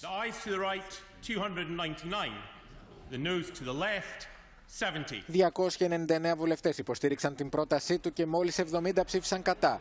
Ωστόσο, βάσει του νόμου που υπάρχει για συγκεκριμένη πενταετή διάρκεια στις κοινοβουλευτικές περιόδους, απαιτούνταν αυξημένη πλειοψηφία 2 τρίτων, δηλαδή 434 ψήφων, για να μπορέσει να γίνει αποδεκτή. Τώρα που δεν βρίσκεται στο τραπέζι μία μη συμφωνία, έχουμε μία εξαιρετική νέα συμφωνία. Μια πολύ καλή συμφωνία και είναι η ώρα οι ψηφοφόροι να έχουν την ευκαιρία να διατυπώσουν την γνώμη τους επάνω σε αυτήν την συμφωνία. και να αντικαταστήσουν αυτό το δυσλειτουργικό κοινοβούλιο με ένα νέο κοινοβούλιο που θα φέρει σε πέρα στο Brexit ώστε να προχωρήσει η χώρα. Ο Μπόρις Τζόνσον ανακοίνωσε ότι θα φέρει νέα πρόταση για εκλογές στις 12 Δεκεμβρίου, κατηγορώντας τους εργατικούς και τον επικεφαλής του Τζέρεμι Κόρμπιν ότι επιχειρεί να δραπετεύσει από τις εκλογές ενώ ο ίδιος τι ζητούσε. Κύριε Πρόεδρε, αυτός είναι ένας πρωθυπουργός τον οποίο δεν μπορεί κανείς να εμπιστευτεί. Είπε ότι ποτέ δεν θα ζητήσει παράταση του Brexit και μάλιστα είπε ότι θα προτιμούσε να πεθάνει σε μια τάφρο. Άλλη μια υπόσχεση που αθέτησε. Κύριε Πρόεδρε, Ό,τι και αν υπόσχεται αυτός ο Πρωθυπουργός, τελικά το εγκαταλείπει. Ο Κόρμπιν υποστήριξε ότι το κόμμα του θα μελετήσει διεξοδικά τη νέα πρόταση Τζόνσον για πρόορε εκλογές στις 12 Δεκεμβρίου, διευκρινίζοντας ωστόσο ότι απαιτεί ξεκάθαρη δέσμευση πως δεν θα υπάρξει πλέον στο τραπέζι οποιοδήποτε ενδεχόμενο σκληρού Brexit χωρίς προηγούμενη συμφωνία με την Ευρωπαϊκή Ένωση. Εδώ πίσω στο στούντιο και πάλι με κάτι πολύ ε, όμορφο και πολύ ε, γλυκό. Στο πέμπτο βραχάκι δεξιά από το νησάκι Αφροδίτη είχε 10 πεταλίνες, αλλά είχε και ακόμα μία πεταλίνα που ήταν στην άλλη πλευρά του βράχου. Η πεταλίνα ήταν μόνη και ονειρευόταν να έχει κάποιον να κάνει παρέα. Αυτό το απόσπασμα είναι από το δεύτερο παραμύθι του νεότερου Κύπριου συγγραφέα με τίτλο Το Μεγάλο Ταξίδι της Πεταλίνας. Μαζί μας ο μόλις 10 ετών συγγραφέας Λεωνίδας Νικολαίδης. Λεωνίδα μου, καλό απόγευμα, καλώς όρισες. Ευχαριστώ. Ε, για πες μας πώς, πώς ξεκίνησες να γράφεις. Αυτό είναι το δεύτερο σου παραμύθι. Ναι. Το, το πρώτο που έγραψες ήσουν μόλις στη Δευτέρα Δημοτικού. Ναι, ήμουν Δευτέρα Δημοτικού. Ξεκίνησα να το γράφω. Η κυρία μας είπε, μας έβαλε έξι εικόνες και έπρεπε να τις περιγράψουμε. Επειδή εγώ ε, δεν κατάλαβα πολύ καλά την άσκηση. Ε, έβαλα και άλλες εικόνες από το μυαλό μου. Έτσι έγινε το πρώτο βιβλίο. Που όταν λιώνουν οι, οι χιονάνθρωποι, είναι ο ναι. τίτλος του. Ναι. Ε, άρα το εμπνεύστηκες από τις εικόνες βασικά που σας είχε δώσει η δασκάλα σας; Το πιο πολύ. Ναι. Ναι. Και τι άλλο; Yeah. Βάζει φαντασία σου να δουλέψει; Μόλι το έκανα, η μάμα μου είπε, αν θε... είναι, επειδή είναι ένα παιδικό παραμύθι, αν θέλω μπορώ να το κάνω ένα, ένα, ένα παραμύθι. Εγώ είπα ναι και έτσι έγινε. Και οι εικόνες που βλέπουμε είναι δικές σου ή τις έχει ε, ζωγραφίσει ε, κάποιο Με βοήθησε η φίλη μου. Ε, τη λένε Μαριλένα Μιχαηλίδου, η φίλη μου. Η φίλη σου Μαριλένα σε βοήθησε. Ε, και αυτό είπαμε κυκλοφόρησε όταν ήσουν στη Δευτέρα Δημοτικού. Τώρα είσαι στην... Τώρα είμαι πέμπτη. Τώρα είσαι στην πέμπτη και έχουμε την, ε, την Πεταλίνα. Ναι, τώρα είναι το μεγάλο ταξίδι της Πεταλίνα. Το επόμενο ε, το, το δεύτερο είναι το μεγάλο mm -hmm. ταξίδι της Πεταλίνας. Που, ποια είναι η υπόθεση ε, του, του παραμυθιού αυτού; Ε, είναι ότι ε, είναι, για το, είναι για το καλοκαίρι. Είναι, η, η Πεταλίνα ένιωθε μοναξιά στην αρχή επειδή, ήταν, επειδή στη μία ήταν πολλές οι φίλες της και στο άλλο ήταν μόνη της. Και έτσι mm -hmm. ένιωθε μοναξιά. Και, ε... το νόημα είναι ότι δεν πρέπει να πετάμε σκουπίδια. Α, άρα βλέπουμε και μια περιβαλλοντική ανησυχία α, εδώ. Για σένα το περιβάλλον τι είναι, τι σημαίνει; Ε, περιβάλλον είναι, ε, είναι τα δέντρα, είναι η θάλασσα, είναι το δάσος, είναι... Υγείο αέρας που αναπνέουμε. Υγείο αέρας που αναπνέουμε, είναι το χώμα. Και έχει σημασία να το διατηρούμε πρέπει πάντοτε Δεν πρέπει να το καταστρέψουμε. Και ε, μέσα στο, στο ταξίδι της, της Πεταλίνας ε, αναφέρεις πολύ στη θάλασσα της Πάφου, από που είναι και η καταγωγή σου; Ε, από την επαρχία Πάφου. Ναι. Εγώ είμαι από την Πάφου, όχι από επαρχία Πάφου. Ε, η σχέση σου με τη θάλασσα ποια είναι, αγαπάς τη θάλασσα; Ναι, αγαπώ τη θάλασσα. Όπως, όλα τα, όπως όλα τα παιδιά, έτσι. Ε, στέλνεις κάποια μηνύματα άλλα μέσα από τα, από τα βιβλία σου ε, στα, στα άλλα παιδιά που θα, το διαβά, που θα τα διαβάσουν; Ε, ναι, στέλνω μηνύματα να μην, να, αν βλέπουν σκουπίδια κάτω, να τα βάζουν στην ανακύκλωση και να μην τα ρίχνουν αυτοί κάτω τα δικά τους, να τα βάζουν πάλι στην ανακύκλωση. Ε, τι θες να γίνεις όταν μεγαλώσεις; Όταν μεγαλώσω θέλω να γίνω, θέλω να γίνω εφευρέτης και ναυαγοσώστης. Εφευρέτης και ναυαγοσώστης. Και τι θα ήθελες να εφεύρεις έτσι, έχεις σκεφτεί κάτι ή θα το αφήσεις να δεις όταν μεγαλώσεις; Ε, ναι, θέλω κάτι. Ε, ένα αεροπλάνο που θα γίνεται βάρκα όταν πηγαίνεις στο νερό. Α, έχεις πολλή δουλειά να κάνεις, Λεωνίδα μου. Ε, τώρα, τι σου λένε τα, τα παιδιά, οι φίλοι σου, οι συμμαθητές στο σχολείο για το βιβλίο, αλλά και οι δάσκαλοι σου; Δεν μου λένε πολλά πράγματα, μου λένε μπράβο που έχω και μία μέρα το διάβασα στην τάξη. Και τα σχόλια ήταν καλά, θετικά; Ναι, ήταν θετικά. Οι, οι γονείς σου; Το ξέρουν. Ε, το ξέρουν, σε στηρίζουν, σε βοηθάνε; Ναι, με, με βοηθούν. Ναι, με βλέπουν τώρα. Ε, έχεις αδέλφια; Μόνο, ε, όχι ακριβώς. Ε, ναι, έχω ένα. Έχεις ένα. Είναι μικρό, πιο μικρό, πιο μεγάλο; Πιο μεγάλο. Πιο μεγάλο. Γράφει και αυτός; Όχι, δεν γράφει. Όχι, δεν γράφει. Ε, ετοιμάζεις κάτι καινούριο, ένα τρίτο παραμύθι; Ναι, ετοιμάζω ένα καινούριο. Ναι. Ποιο, θες να μας πεις λίγα λόγια γι' αυτό ή να το αφήσουμε έτσι Είναι έκπληξη; Είναι περιπέτεια. Είναι περιπέτεια. Και πόσο ο καιρό σου παίρνει έτσι ε, για να τελειώσεις ένα, ένα παραμύθι, ένα βιβλίο ε, που αρχίζεις; Για, για μόνο να το γράψω θέλει μπορεί και το, αυτό μπορεί να χρειαστεί και μόνο, δύο, μόνο ένα μισή μήνα μπορεί. Ε, μόνο ένα με μισό μήνα μπορεί να χρειαστεί αυτό. Ε, και ε, Πού, το, πού βρίσκει, πού μπορεί να βρει κάποιος τα παραμύθια σου; Τα παραμύθια μου μπορεί να τα βρεις στην Πάφος, στο βιβλιοπωλείο Πάργα ή στην Κυπριακή Βιβλιοθήκη. Μάλιστα. Στις άλλες πόλεις γνωρίζουμε ε, αν υπάρχουν στα βιβλιοπολία. Είναι εδώ η μαμά να μας βοηθήσει, όχι. Δεν, ε, είναι εδώ. Τα βρίσκουμε και αλλού τα, σε άλλες πόλεις τα, τα βιβλία. Όχι, μόνο στην Πάφο προς τον παρόν. Ωραία, θα πρέπει να κάνετε έτσι μια κουβέντα νομίζω με κάποια βιβλιοπολία για να τα βρίσκουν τα παιδιά σε όλη την, την Κύπρο. Ε, όμως είναι σημαντικό, ο Λεωνίδα μου, να πούμε και για τα έσοδα από τα παραμύθια σου. Πού πάνε; Τα έσοδα, στο πρώτο τα βάλαμε στο Ίδρυμα Μαργαρίτας Γιασίδου και το δεύτερο θα τα πάρουμε στο Πάφος Water Polo. Μπράβο. Είναι... Ε, τι σε έκανε να θες να γράψεις αυτά, τα, να, να δοθούν τα έσοδα σε κάποιο φιλανθρωπικό σκοπό; Στο πρώτο, επειδή είναι κρίμα να, να στο ίδρυμα, επειδή ήθελα να δώσω... Και τα έχουν ανάγκη ναι. τα, τα Στο δεύτερο, ναι. επειδή είναι το mm σπορ μου, το, ε, στο Πάφος Water Polo, είναι το σπορ. Ε, εσύ διαβάζεις βιβλία άλλων συγγραφέων; Ναι, διαβάζω. Ποιος είναι ο αγαπημένος σου συγγραφέας, Ο Ρουάλ Τάλ. Και τι, τι είδους βιβλία σου αρέσει συνήθως να διαβάζεις, Μου αρέσει τα, ε, τα μεγάλα, τα γόντρα, έτσι, που έχουν περίπου 200 σελίδες. Είναι του Ρουάλ Τάλ. Είναι περιπέτειες, τι είναι. Είναι, είναι... περιπέτειες και κάποια detective clues και το κλαπ που μας ανέφερες, εκεί κάνεις υδατοσφαίριση, δεν είναι; Ναι, υδατοσφαίριση. Πόσο καιρό ασχολείσαι με την πάω το δύο, Θα πάω τρίτο χρόνο. Τρία χρόνια. Θα πάω. Θα, θα πας. Θα τελειώσω. Mm -hmm. Καλός μαθητής είσαι στο σχολείο; Ναι. Ναι, σε όλα τα μαθήματα; Εκτός γεωγραφία.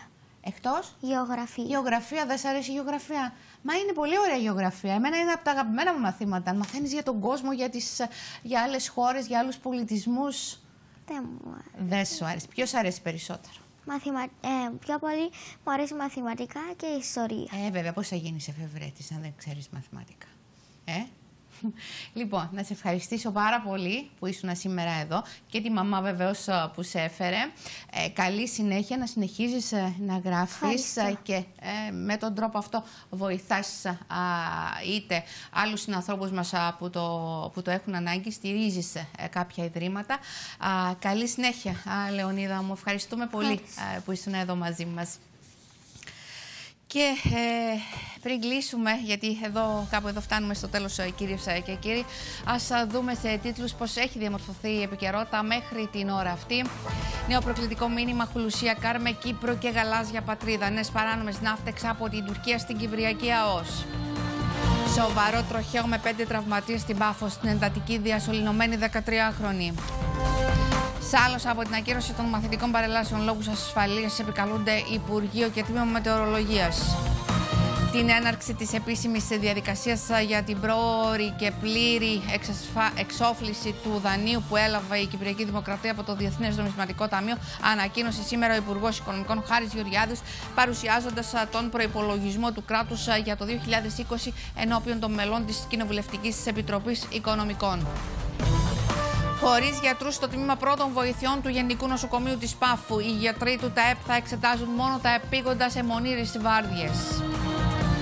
Δύο νεκροί από την πτώση εκπαιδευτικού αεροσκάφους κοντά στο κατεχόμενο Λευκόνικο. Νεκρός ο ηγέτης του Ισλαμικού κράτους στη θάλασσα ερήφθη η σωρός του. Βόμβα από τον Ζόραν Ζάεφ. Δεν μπορούμε να ελοποιήσουμε τη συμφωνία των Πρεσπών. Την παγώνουμε, δηλώνει στο Euronews. Και στο σημείο αυτό η εκπομπή μας ολοκληρώνεται. Επόμενη ενημέρωσή σας στις 7.30 στο κεντρικό μας δελτίο ειδήσεων με τη Χριστίνα Μάρκου. Στις 6 ώρα παρακολουθήσετε την εκπομπή Η Αλήθεια και με τον Δημήτρη Σούγλη. Καλεσμένος του σήμερα ο Δήμαρχος Λεμεσού Νίκος Νικολαίδης. Συζητούν για το πρόβλημα των πλημμυρών και το σχέδιο δράσης για επίλυση του θέματος. Εμείς θα είμαστε ξανά μαζί σας αύριο Τετάρτη στη μία η ώρα. Να έχετε ένα όμορφο απόγευμα και προσοχή σε ό,τι και αν κάνετε.